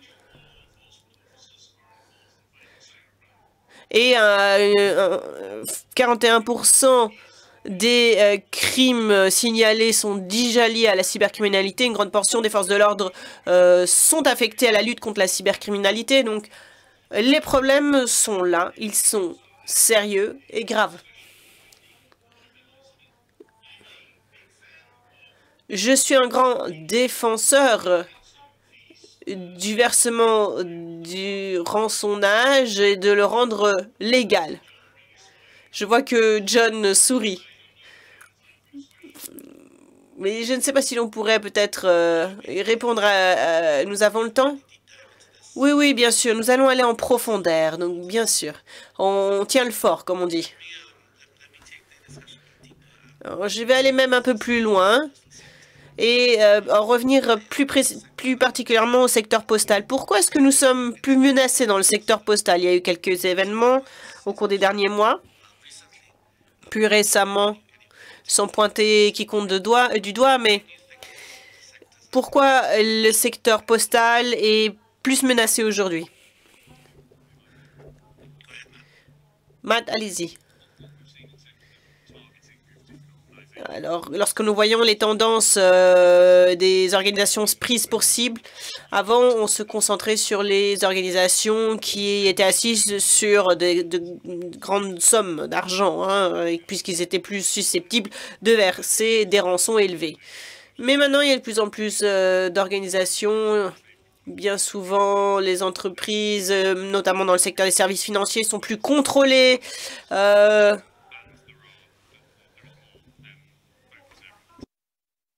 Et ils sont, et ils sont plus euh, à, même de la protection euh, des données hein, dont ils disposent. Mais on le voit qu'il y a d'autres secteurs, l'éducation, euh, les soins de santé, qui sont moins réglementés, sont moins préoccupés par les questions de sécurité, ont moins investi dans le secteur et peut-être n'ont pas les fondamentaux et, et ne sont pas protégés comme ils le devraient. C'est finalement aussi simple que ça. Ils sont plus pris pour cible notamment dans le secteur de la fabrication, puisque s'il y a un ralentissement euh, des, processus industriels, euh, voilà, les, les risques sont élevés. Merci. Peter, vous souhaitez prendre la parole? Oui. Je suis d'accord avec ce qu'elle vient de dire Matt. Un autre élément important, c'est que le secteur postal comme nombre d'autres secteurs, utilisent de plus en plus l'informatique hein, pour la gestion de ces activités. Comme il y a cette transition numérique, eh bien sûr, ceci est assorti d'une augmentation du risque d'être pris pour cible par les attaques en ligne. C'est sine qua non, et c'est pour cela que l'on peut prévoir une augmentation même de ce risque pour le secteur postal. Merci. John? Je me tourne euh, peut-être euh, vers Micha. J'ai déjà pris la parole. Micha, vous souhaitez vous exprimer? Oui. Nous avons parlé de la différence entre les cibles euh, plus douces et plus traditionnelles. Oui. Mais nous avons un autre verre de la médaille. Il y a de plus en plus d'attaques en rançongiciel pour tout le monde. Et vous n'êtes qu'un acteur de cette augmentation globale, finalement. Donc, il y a là deux tendances qui vont dans ce sens. Merci, Micha. John Oui, pour rebondir sur ce qui vient d'être dit. C'est finalement euh, le fruit de l'arbre le plus, le plus accessible. Eh bien, notre organisation, ce n'est pas qu'une question de euh, livrer les colis euh, ou, des envois postaux, mais il y a aussi tout le volet institution financière, le transfert, le déplacement euh, d'argent.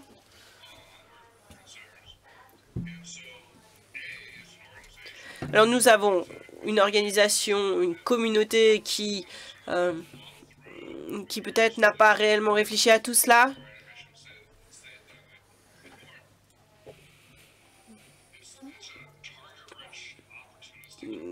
nous voyons que une cible de choix euh, pour euh, les criminels, avec un impact direct.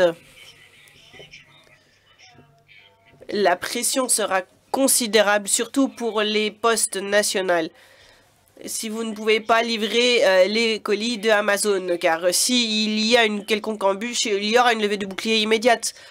Vous avez donc une pression à la fois politique, publique, du grand public, des clients, pour euh, trouver une solution immédiate. Allez-y, payez euh, la rançon pour que le système fonctionne, pour que les colis puissent à nouveau être livrés. Et on voit là qu'il y a un levier important. Et euh, nous devons le voir euh, et nous saisir de la question dans le, dans le secteur postal, être sûr que nous soyons au fait pour que nous puissions prévenir, mais également atténuer et répondre de manière adaptée à ces, euh, ces menaces. Et aussi avoir un engagement des différentes postes à former leurs membres du personnel, avoir les bonnes politiques et pratiques en place car les postes seront pris pour cible. Il y a des colis physiques concernés. Pourquoi, en tant que criminel, eh bien, je m'intéresserai pas à cela, à cette euh, manne? Il y aura, je pense, de plus en plus d'attaques potentielles qui prendront les postes pour cible. Puisque, comme j'ai dit, c'est vraiment le fruit de l'arbre euh, le plus accessible qui est devant nos yeux. Oui, merci, c'est assez effrayant, mais réaliste. Eh bien, je veux dire, ils s'en sont pris au secteur de la santé, euh, du réseau électrique, euh, euh, de l'eau, tout simplement. le chlore, l'approvisionnement en eau, je veux dire, d'autres secteurs sont concernés. Donc, je veux dire, c'est là une évolution naturelle, prévisible. Les postes sont les prochaines victimes. Et oui, nous envoyons les effets hein, aujourd'hui. Une question d'ailleurs du secteur postal. Euh, notre président, Massimiliano Aschi, euh, de Poste Italiane,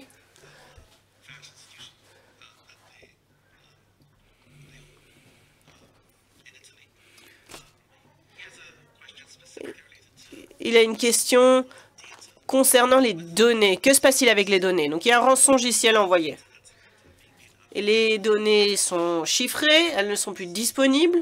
Hmm, toutes les perturbations qui en découlent.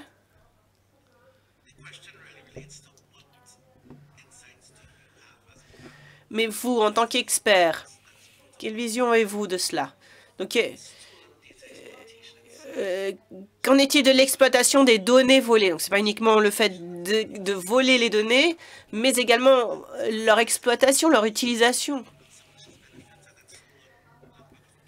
Par exemple, vente sur le marché noir euh, des fins de profit. Quels sont les, effets par ricochet de cet événement? Sur le dark web notamment. Est-ce qu'il y a quelqu'un qui souhaite répondre? Matt? D'abord? Oui. Deux, trois éléments. La plupart du temps, les données euh, sont révélées au grand public. Donc finalement, est publié sur un site spécialisé dans les informations fuitées. Euh, bien souvent, c'est sur le dark web, comme on l'appelle. Et c'est assez, facile d'y aller, d'avoir accès à ces données, mais également sur l'autre, euh, sur l'Internet euh, ordinaire. Des informations qui peuvent être sensibles, donc il est très important pour l'organisation ciblée de bien comprendre euh, quelles sont les données volées, qu'est-ce qu'il y a dans cette série de données et quelles sont les, les conséquences pour les clients et les euh, et pour être pris pour cible, notamment il y a des entreprises qui utilisent les données volées des informations relatives à certains clients qui sont fuitées et qui sont utilisées pour engendrer des bénéfices. Donc c'est assez difficile de quantifier les, répercussions de, cette, euh, de ce vol de données. On ne sait pas qu'est-ce qui a fuité, euh, l'ampleur de l'attaque, donc c'est assez difficile pour nous de le savoir. La fraude est un problème et les fuites ultérieures également. John, your hand is up. John, Non, non, non, euh, c'est une main ancienne. Oui, mais puisque j'ai la parole. Vous savez, les arnaqueurs font partie d'organisations.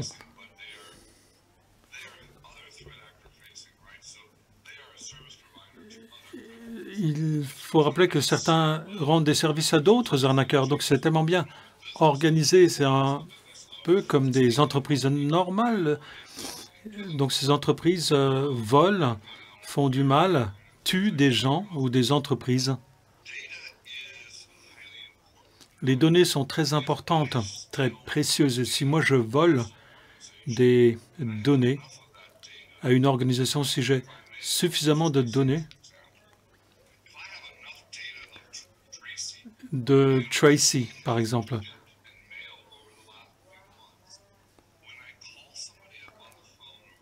Quand j'appelle quelqu'un ou quand j'envoie un email et que je leur dis, écoutez, je vous demanderai de faire X, Y, Z. Je sais que vous avez envoyé ce paquet à cette personne tel jour, que vous avez cette lettre à cette personne ce jour-là. Donc il faut me faire confiance, que vous devez penser que je suis quelqu'un qui travaille dans l'organisation. Étant donné que j'ai cette information confidentielle, eh bien, euh, on va baisser la garde du côté de Tracy. Parce que les, gens ne vont pas se méfier. Parce qu'ils vont se dire, bah, cette donnée n'était connue que par celui qui a envoyé et reçu le, paquet par la poste. Donc celui maintenant, ma garde est baissée et donc je vais pouvoir utiliser cela pour faire autre chose, pour faire une arnaque. Ou alors je peux utiliser cela pour que quelque chose soit fait au détriment de Tracy et à mon bénéfice en tant qu'arnaqueur. Donc, euh, les données, ça concerne également les tendances. Donc, ils euh, comprennent, euh, les escrocs comprennent, ils savent comment se déplacer latéralement au sein d'une organisation dans tout le paysage. Donc, il ne s'agit pas simplement d'avoir l'adresse, le numéro de sécurité sociale, ou alors d'avoir des données bancaires. En fait, c'est toute une série de données qui vous permettent de créer votre crédibilité avant d'arnaquer les gens. Donc, protéger les données, c'est absolument fondamental. Merci. Micha.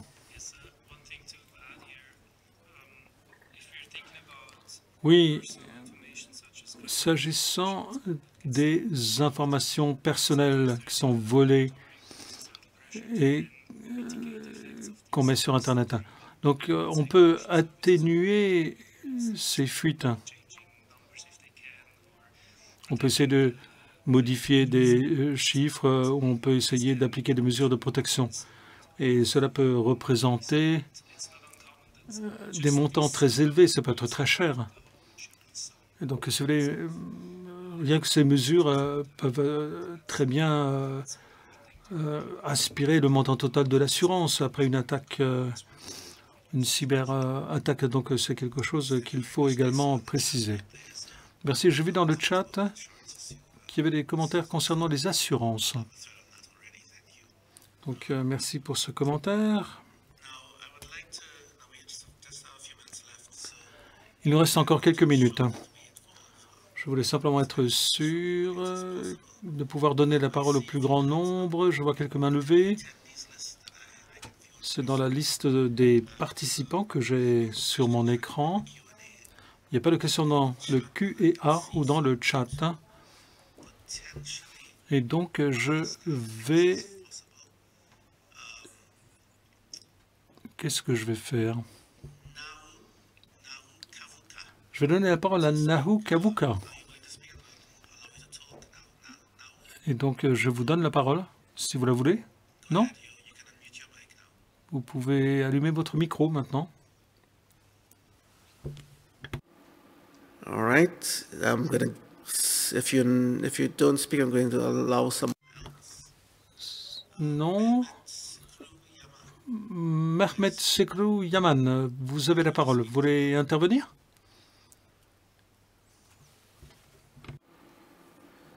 All right. Non plus. Très bien. Si vous ne pouvez pas parler, vous pouvez mettre un message dans le chat. Ahmed Elmelef. Je vous donne la parole. Allez-y. You might need to unmute yourself to, to be able to speak. Yes, I hope that you are seeing the asked. Um, a Oui. Donc il devrait y avoir un message euh, qui vous donne la parole. Et donc dans ce cas-là, il faut simplement ouvrir le micro. Bon, si vous ne voyez pas de message, vous avez toujours la possibilité de mettre un message dans le chat. Lucia Siem. Ouvrez votre micro et vous avez la possibilité maintenant de poser une question.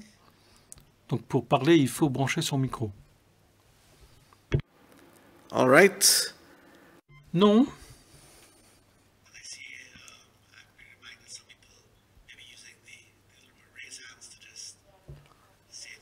Oh, certains avaient peut-être levé la main simplement pour euh, marquer leur présence, donc c'est bien.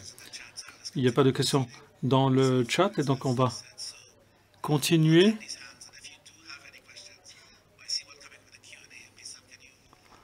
Alors, je ne sais pas si vous avez des questions, si vous avez des commentaires, vous avez le Q&A, vous avez également le chat. Euh, Je ne sais pas, est-ce que quelqu'un a vérifié Est-ce qu'il y a encore des messages, des commentaires? There's no open questions. It was just a thank you. All right. Non, non, il n'y a pas de questions ouvertes, c'est simplement des remerciements. Très bien, donc je reviens à mes moutons pour la conclusion de cette séance. From the the queue. Now, um, what non-technical steps? Quelles sont les mesures non techniques qu'il faudrait adopter pour la prévention des rançongiciels Avant de répondre, un de mes collègues voulait intervenir. Il demande quelle est l'importance de PRA dans la prévention des rançongiciels. Donc PRA. Alors, si les gens ne savent pas ce que c'est, vous pourriez peut-être nous dire ce que c'est que la PRA C'est Moussa qui avait posé la question. Ensuite, une question en français. question? Um, yes, I need my French, my French assistance here. Alors, Qui m'aide pour le français? SVP? What's I'm not sure. S'il vous plaît. Il y a une question sur les Euh, Ah, recovery plan. en fait, sorry, there's someone, uh, what's Mohammed from, Donc c'est Mohamed qui pose une question sur VPN. Mais je ne sais pas très bien ce que ça veut dire VPN. Oui. PRA, c'est un plan de récupération.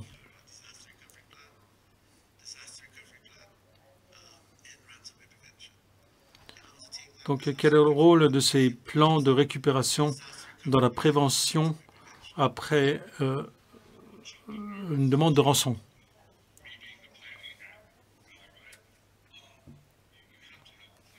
Alors, oui, il faut un plan.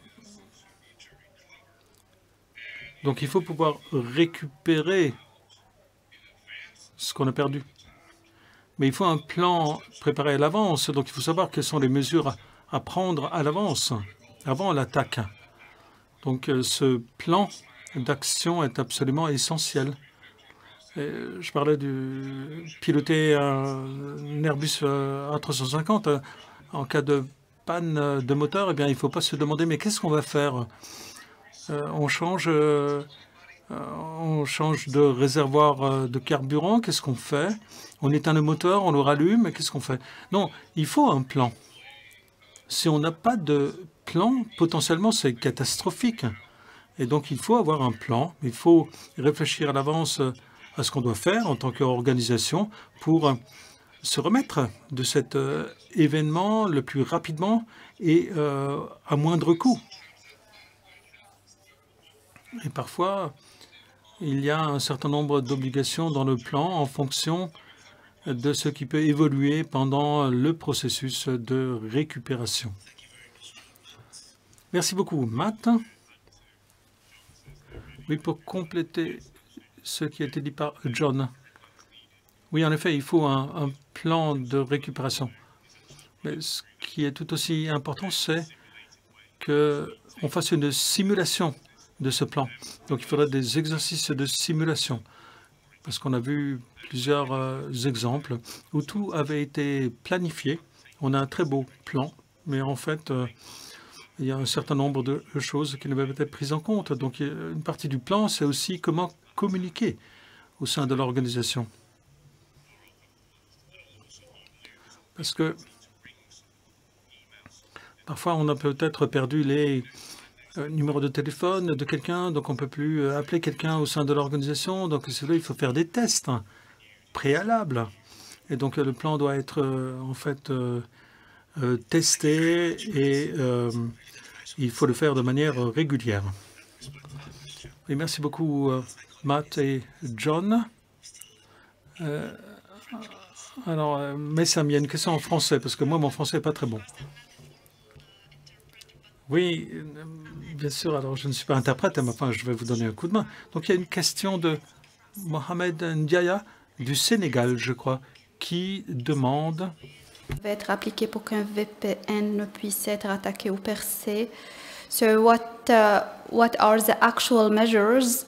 Donc, quelles sont les mesures à appliquer pour éviter une attaque contre un VPN Oui, si vous le permettez, je vais peut-être répondre. Alors, Micha, euh, je ne sais pas si Micha avait levé la main avant moi, donc euh, n'hésitez pas, Micha. Non, non, allez-y. Et si nécessaire, je vais compléter. Oui, très bien, rapidement. C'est une bonne question parce que on voit beaucoup de services VPN compromis. Donc, si vous voulez, c'est euh, une porte d'entrée. Un des problème des VPN, c'est que VPN, euh, c'est un service exposé à Internet euh, continuellement. Donc on peut simplement forcer la porte pour entrer. Et une solution, si on regarde l'évolution de VPN, VPN a des avantages, il y a une connexion directe. Donc c'est très performant, c'est rapide. Mais si on regarde euh, l'évolution du marché, ce qu'on voit de plus en plus, c'est des ZTNA. Et donc, on, prend le VPN par rapport à un service euh, dans le nuage. Et donc, si vous voulez, on n'est pas obligé de garder la porte ouverte sur Internet parce qu'on utilise une autre partie qui fait une authentification avant de donner accès. Donc, voilà ce que fait le marché aujourd'hui. Donc, euh, que fera euh, le marché à l'avenir? On n'y est pas encore, mais euh, en fait, on va revenir à la méthode traditionnelle VPN, mais ensuite, il y aura des couches de sécurité supplémentaires qui vont s'empiler. Par exemple, il y aura notamment une authentification. Donc, si quelqu'un se connecte, eh bien, le port est fermé. Ce n'est qu'une fois qu'on a confirmé son identité qu'un port va s'ouvrir. Euh, donc, pour résumer ma réponse, euh, les VPN traditionnels exposés à l'Internet, c'est quelque chose que je ne recommanderais pas, à moins d'avoir des euh, couches de sécurité supplémentaires. Euh, ZTNA, c'est l'avenir. Donc, je crois qu'on va revenir en fait au modèle ancien, mais en y ajoutant des niveaux de sécurité supplémentaires. Micha. Oui, oui, je vous rejoins. Maintenant, du point de vue technique, à mon avis, les VPN sont relativement bons. C'est des dispositifs de sécurité euh, qui font le boulot. Alors, bien entendu, on peut avoir des niveaux de sécurité supplémentaires pour améliorer la sécurité. Mais en tout cas, il faut les mettre à jour.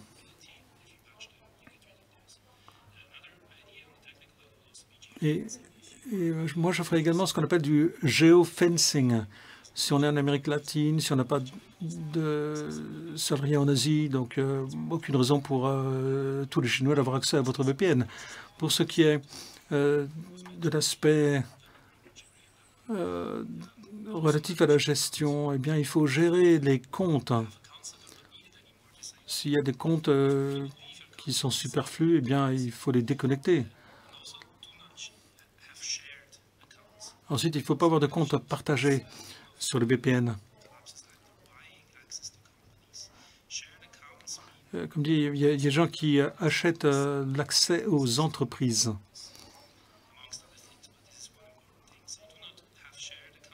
Donc, euh, quand on a des comptes partagés, on peut vendre l'accès aux comptes à d'autres. Donc, ne partagez pas les comptes. Merci. Je vois la main de John.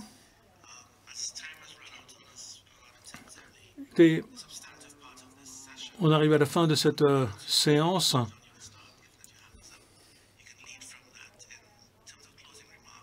Et donc, on pourrait peut-être passer à la clôture. Et donc, euh, ce qui nous intéresse, c'est d'avoir vos retours d'information. Et euh, on aimerait avoir vos avis sur les mesures suivantes adoptées par les postes euh, dans le cadre de la prévention des, euh, des, des. Donc vous avez deux minutes.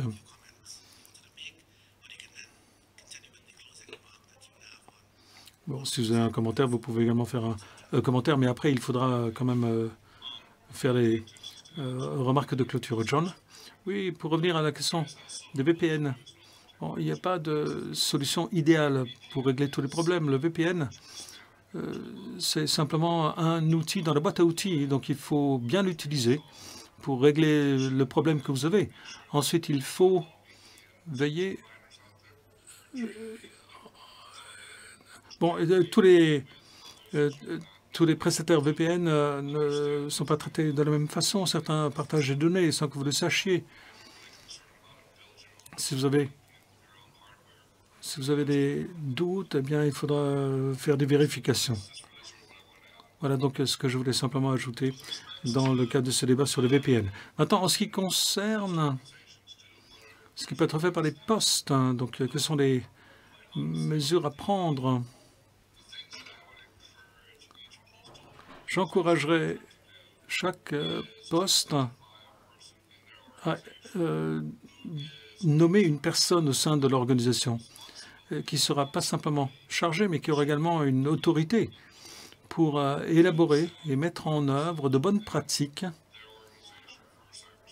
au sein de l'organisation dans le domaine de la cybersécurité. Donc il faut créer un plan de riposte.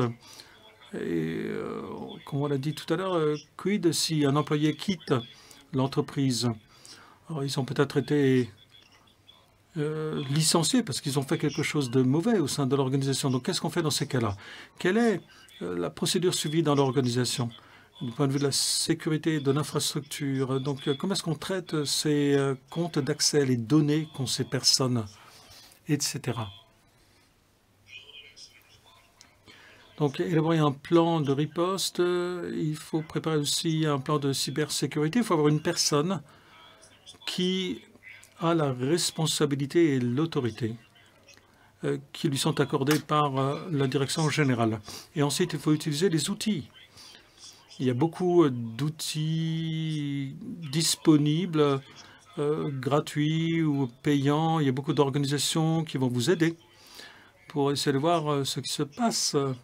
Il y a des choses qu'a Georges dans le Global Scan Alliance donc, euh, il y a aussi des choses euh, que Matt a, Misha, Peter et d'autres organisations euh, qui ont également des outils. Il y a des outils, des infos qui sont disponibles à Team Camry. Nous avons également des données, d'autres informations qu'on peut partager avec les organisations. Donc, il faut être actif au sein de la communauté parce qu'en fin de compte, la cybersécurité, ce n'est pas un sport de spectateurs. Donc, on ne peut pas arriver au stade et simplement suivre le match. Donc, c'est un match où il faut participer. Donc, il faut être sur le terrain.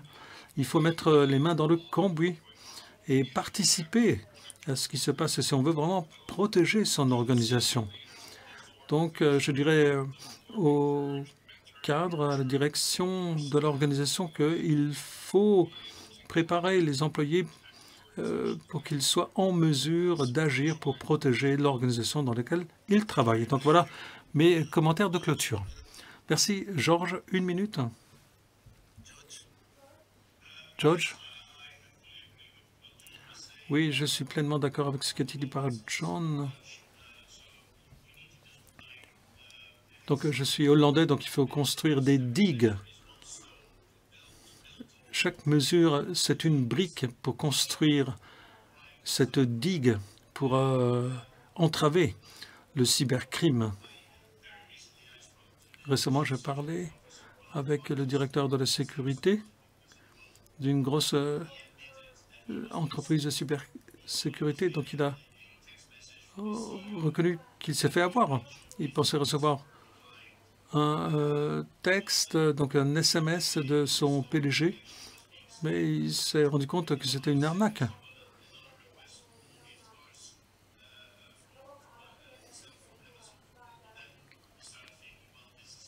Parce que cinq secondes plus tard, euh, il a reçu un autre message de Amazon ou Google, donc il s'est rendu compte que ce n'était pas son PDG. Donc, comme dit euh, il faut protéger les employés du hameçonnage et euh, d'autres escroqueries. Matt, une minute. Oui, les entreprises, les organisations peuvent se protéger.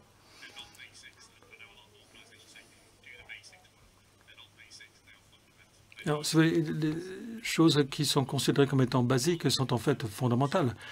J'ai mis une liste dans le chat. Donc, euh, il faut tout d'abord une authentification. Ensuite, euh, il faut séparer, comme l'a dit Peter. Donc, il faut euh, séparer, séparer, séparer. Ensuite, il faut également des backups, c'est-à-dire des sauvegardes. Donc, faites une sauvegarde des données, faites des copies et testez les mesures de sauvegarde pour voir si ça fonctionne.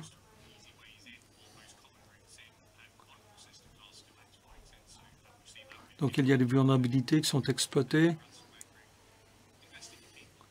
Ensuite, il faut investir dans les employés, dans les équipes qui s'occupent de la cybersécurité. Donc il faut que les gens comprennent la nature de la menace, comment ils peuvent se protéger, protéger l'organisation. Et enfin, il faut également le plan de riposte immédiat. Il faut utiliser également les renseignements, les informations. Il faut informer l'organisation de la nature de la menace. Et donc ça, ça permet de régler le problème dans une très large mesure. Merci Matt. Misha. Oui, tout ce qui est important a déjà été dit. Donc la liste de Matt dans le chat est vraiment euh, très bien. Et je rajouterai simplement que tout ça, c'est gratuit. Si vous avez des logiciels sous licence, la mise à jour de licence, euh, la mise à jour des euh, logiciels est gratuite, donc ça ne coûte rien. Ensuite, deuxièmement, l'authentification et des, des mots de passe forts. Donc, il faut une authentification multifactorielle si elle est disponible. Il faut des mots de passe solides. Ensuite, il faut investir dans les gens et dans la sensibilisation des gens. Quand on éduque les gens, on leur dit, écoutez, euh, ça ne concerne pas que votre, ça ne euh, concerne pas simplement votre vie professionnelle, mais également votre vie privée. Si vous avez un problème, eh bien, ce qu'on vous enseigne ici, eh ça peut également être utilisé pour vous euh, protéger dans votre vie privée. Merci. Merci, Peter. Oui, la prévention des rançongiciels dans le secteur postal eh bien, il faut une approche multisectorielle, il faut des mesures techniques, non techniques. Je viens à ce qui a été dit par Matt. Euh, ces mesures sont fondamentales. Par ailleurs, il est très difficile d'ajouter euh, ce qui a déjà été dit. Mais simplement, euh, les, huit éléments les plus importants pour moi. Un, il faut mettre à jour les logiciels, y compris les logiciels de sécurité. Ensuite, éviter les mots de passe.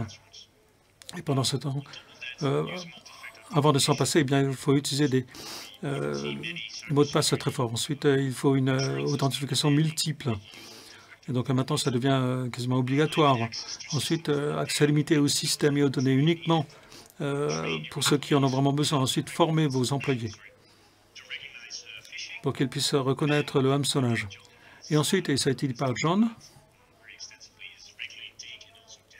il faut tester les sauvegardes régulièrement. Ensuite, il faut également élaborer un plan de riposte instantané. Et pour terminer, mon favori, utiliser la micro-segmentation. Alors, si vous voulez, voilà un certain nombre de, mesures qu'on peut adopter pour euh, renforcer la sécurité. Merci beaucoup je voudrais terminer. De mon côté, je vais euh, parler de ce que fait mon organisation euh, pour vous parler de ce que fait Point Poste.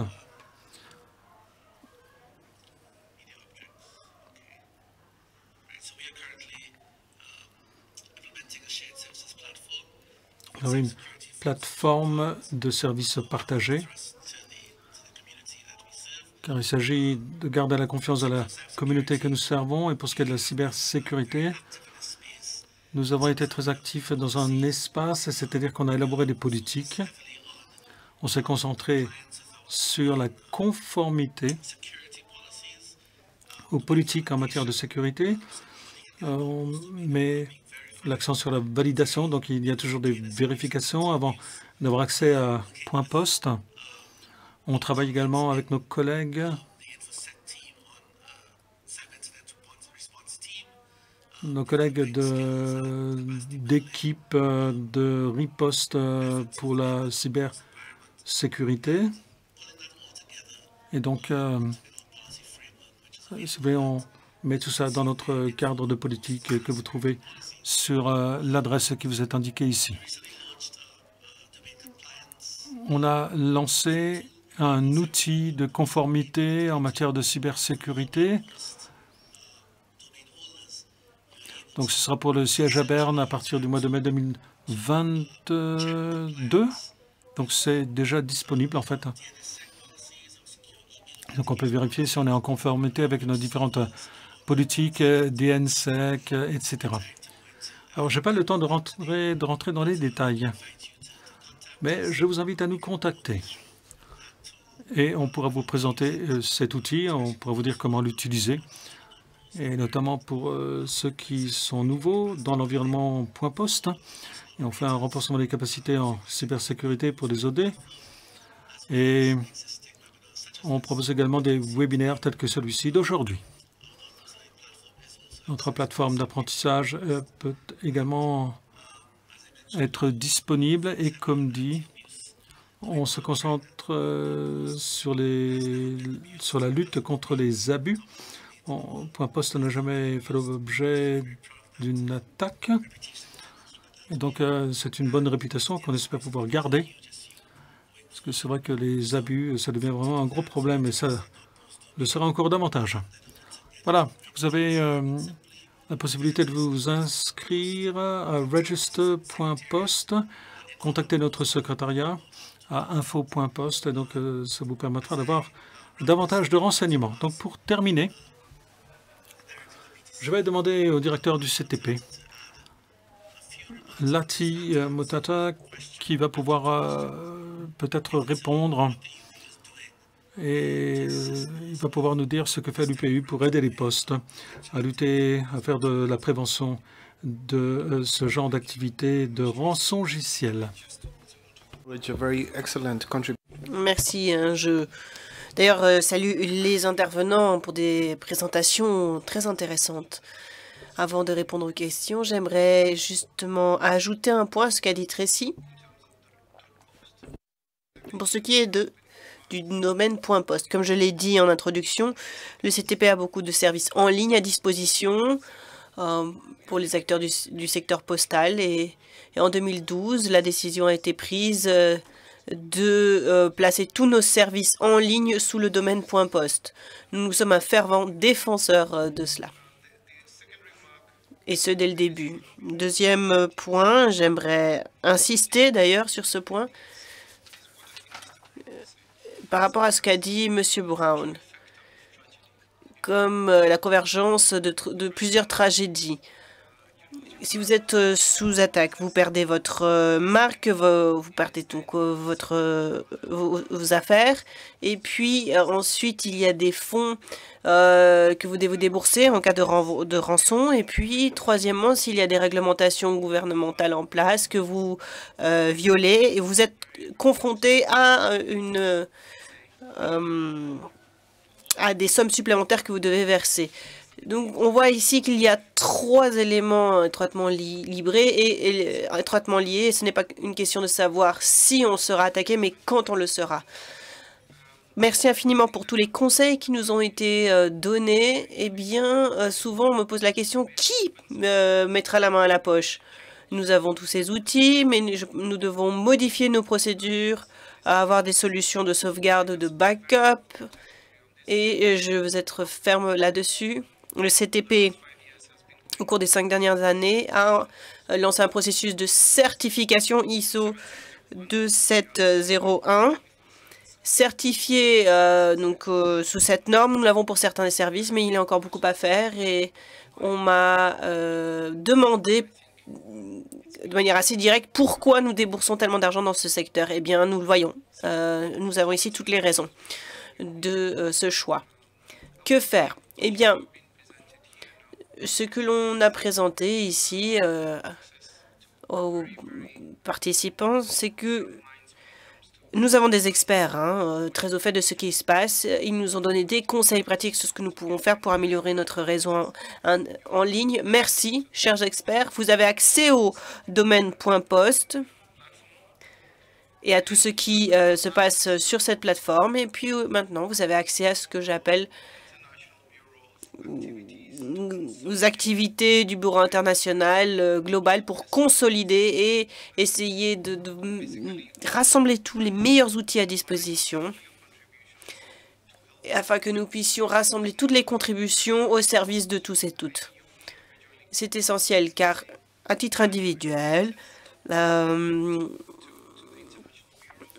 voilà, vous euh, avez certaines, une certaine marge de manœuvre, mais nous avons là un bureau international qui nous permet de toucher toute la communauté. Donc nous, nous euh, encourageons cette interaction. Et euh, voilà, nous avons ici un président qui est fervent défenseur du point poste et nous allons mobiliser Isaac justement pour vraiment aller dans ce sens et consolider tous les tous les outils à disposition au service des postes où tous les acteurs, je suis sûr, bénéficieront d'une sécurité informatique accrue. Merci infiniment. Merci Lati. Il ne me reste plus qu'à remercier l'ensemble des experts, Michel, Matt, John, George et Peter, et à vous tous et toutes qui ont participé. Je me tourne vers le président de l'Assemblée générale, Massimiliano pour quelques remarques de conclusion. Merci infiniment, hein, à titre personnel, à l'ensemble des, euh, experts. Euh, une conversation extrêmement intéressante, je dois dire.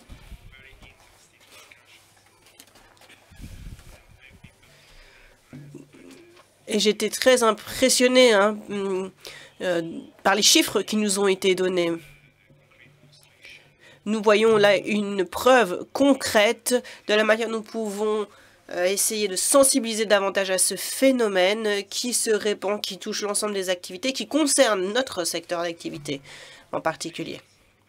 Il y a des mesures que nous pouvons adopter pour euh, contrer ce phénomène. Et nous savons que Point Poste peut jouer un rôle crucial pour euh, aider nos opérateurs désignés à se prémunir contre ces menaces. Et rapidement, car nous manquons de temps. Nous ne pouvons pas attendre euh, euh, davantage. La menace est là. Merci encore. Merci Tracy pour votre travail, votre dévouement pour ce séminaire en ligne. Ceci clôt notre 15e Assemblée générale.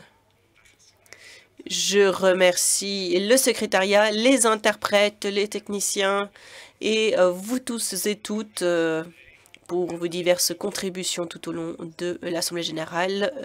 La réunion est désormais euh, close. Merci à vous tous. Merci. Très bonne fin de journée. Merci aux interprètes de mon côté. Les interprètes remercient celles et ceux qui les ont écoutés. Merci infiniment et bonne fin de journée.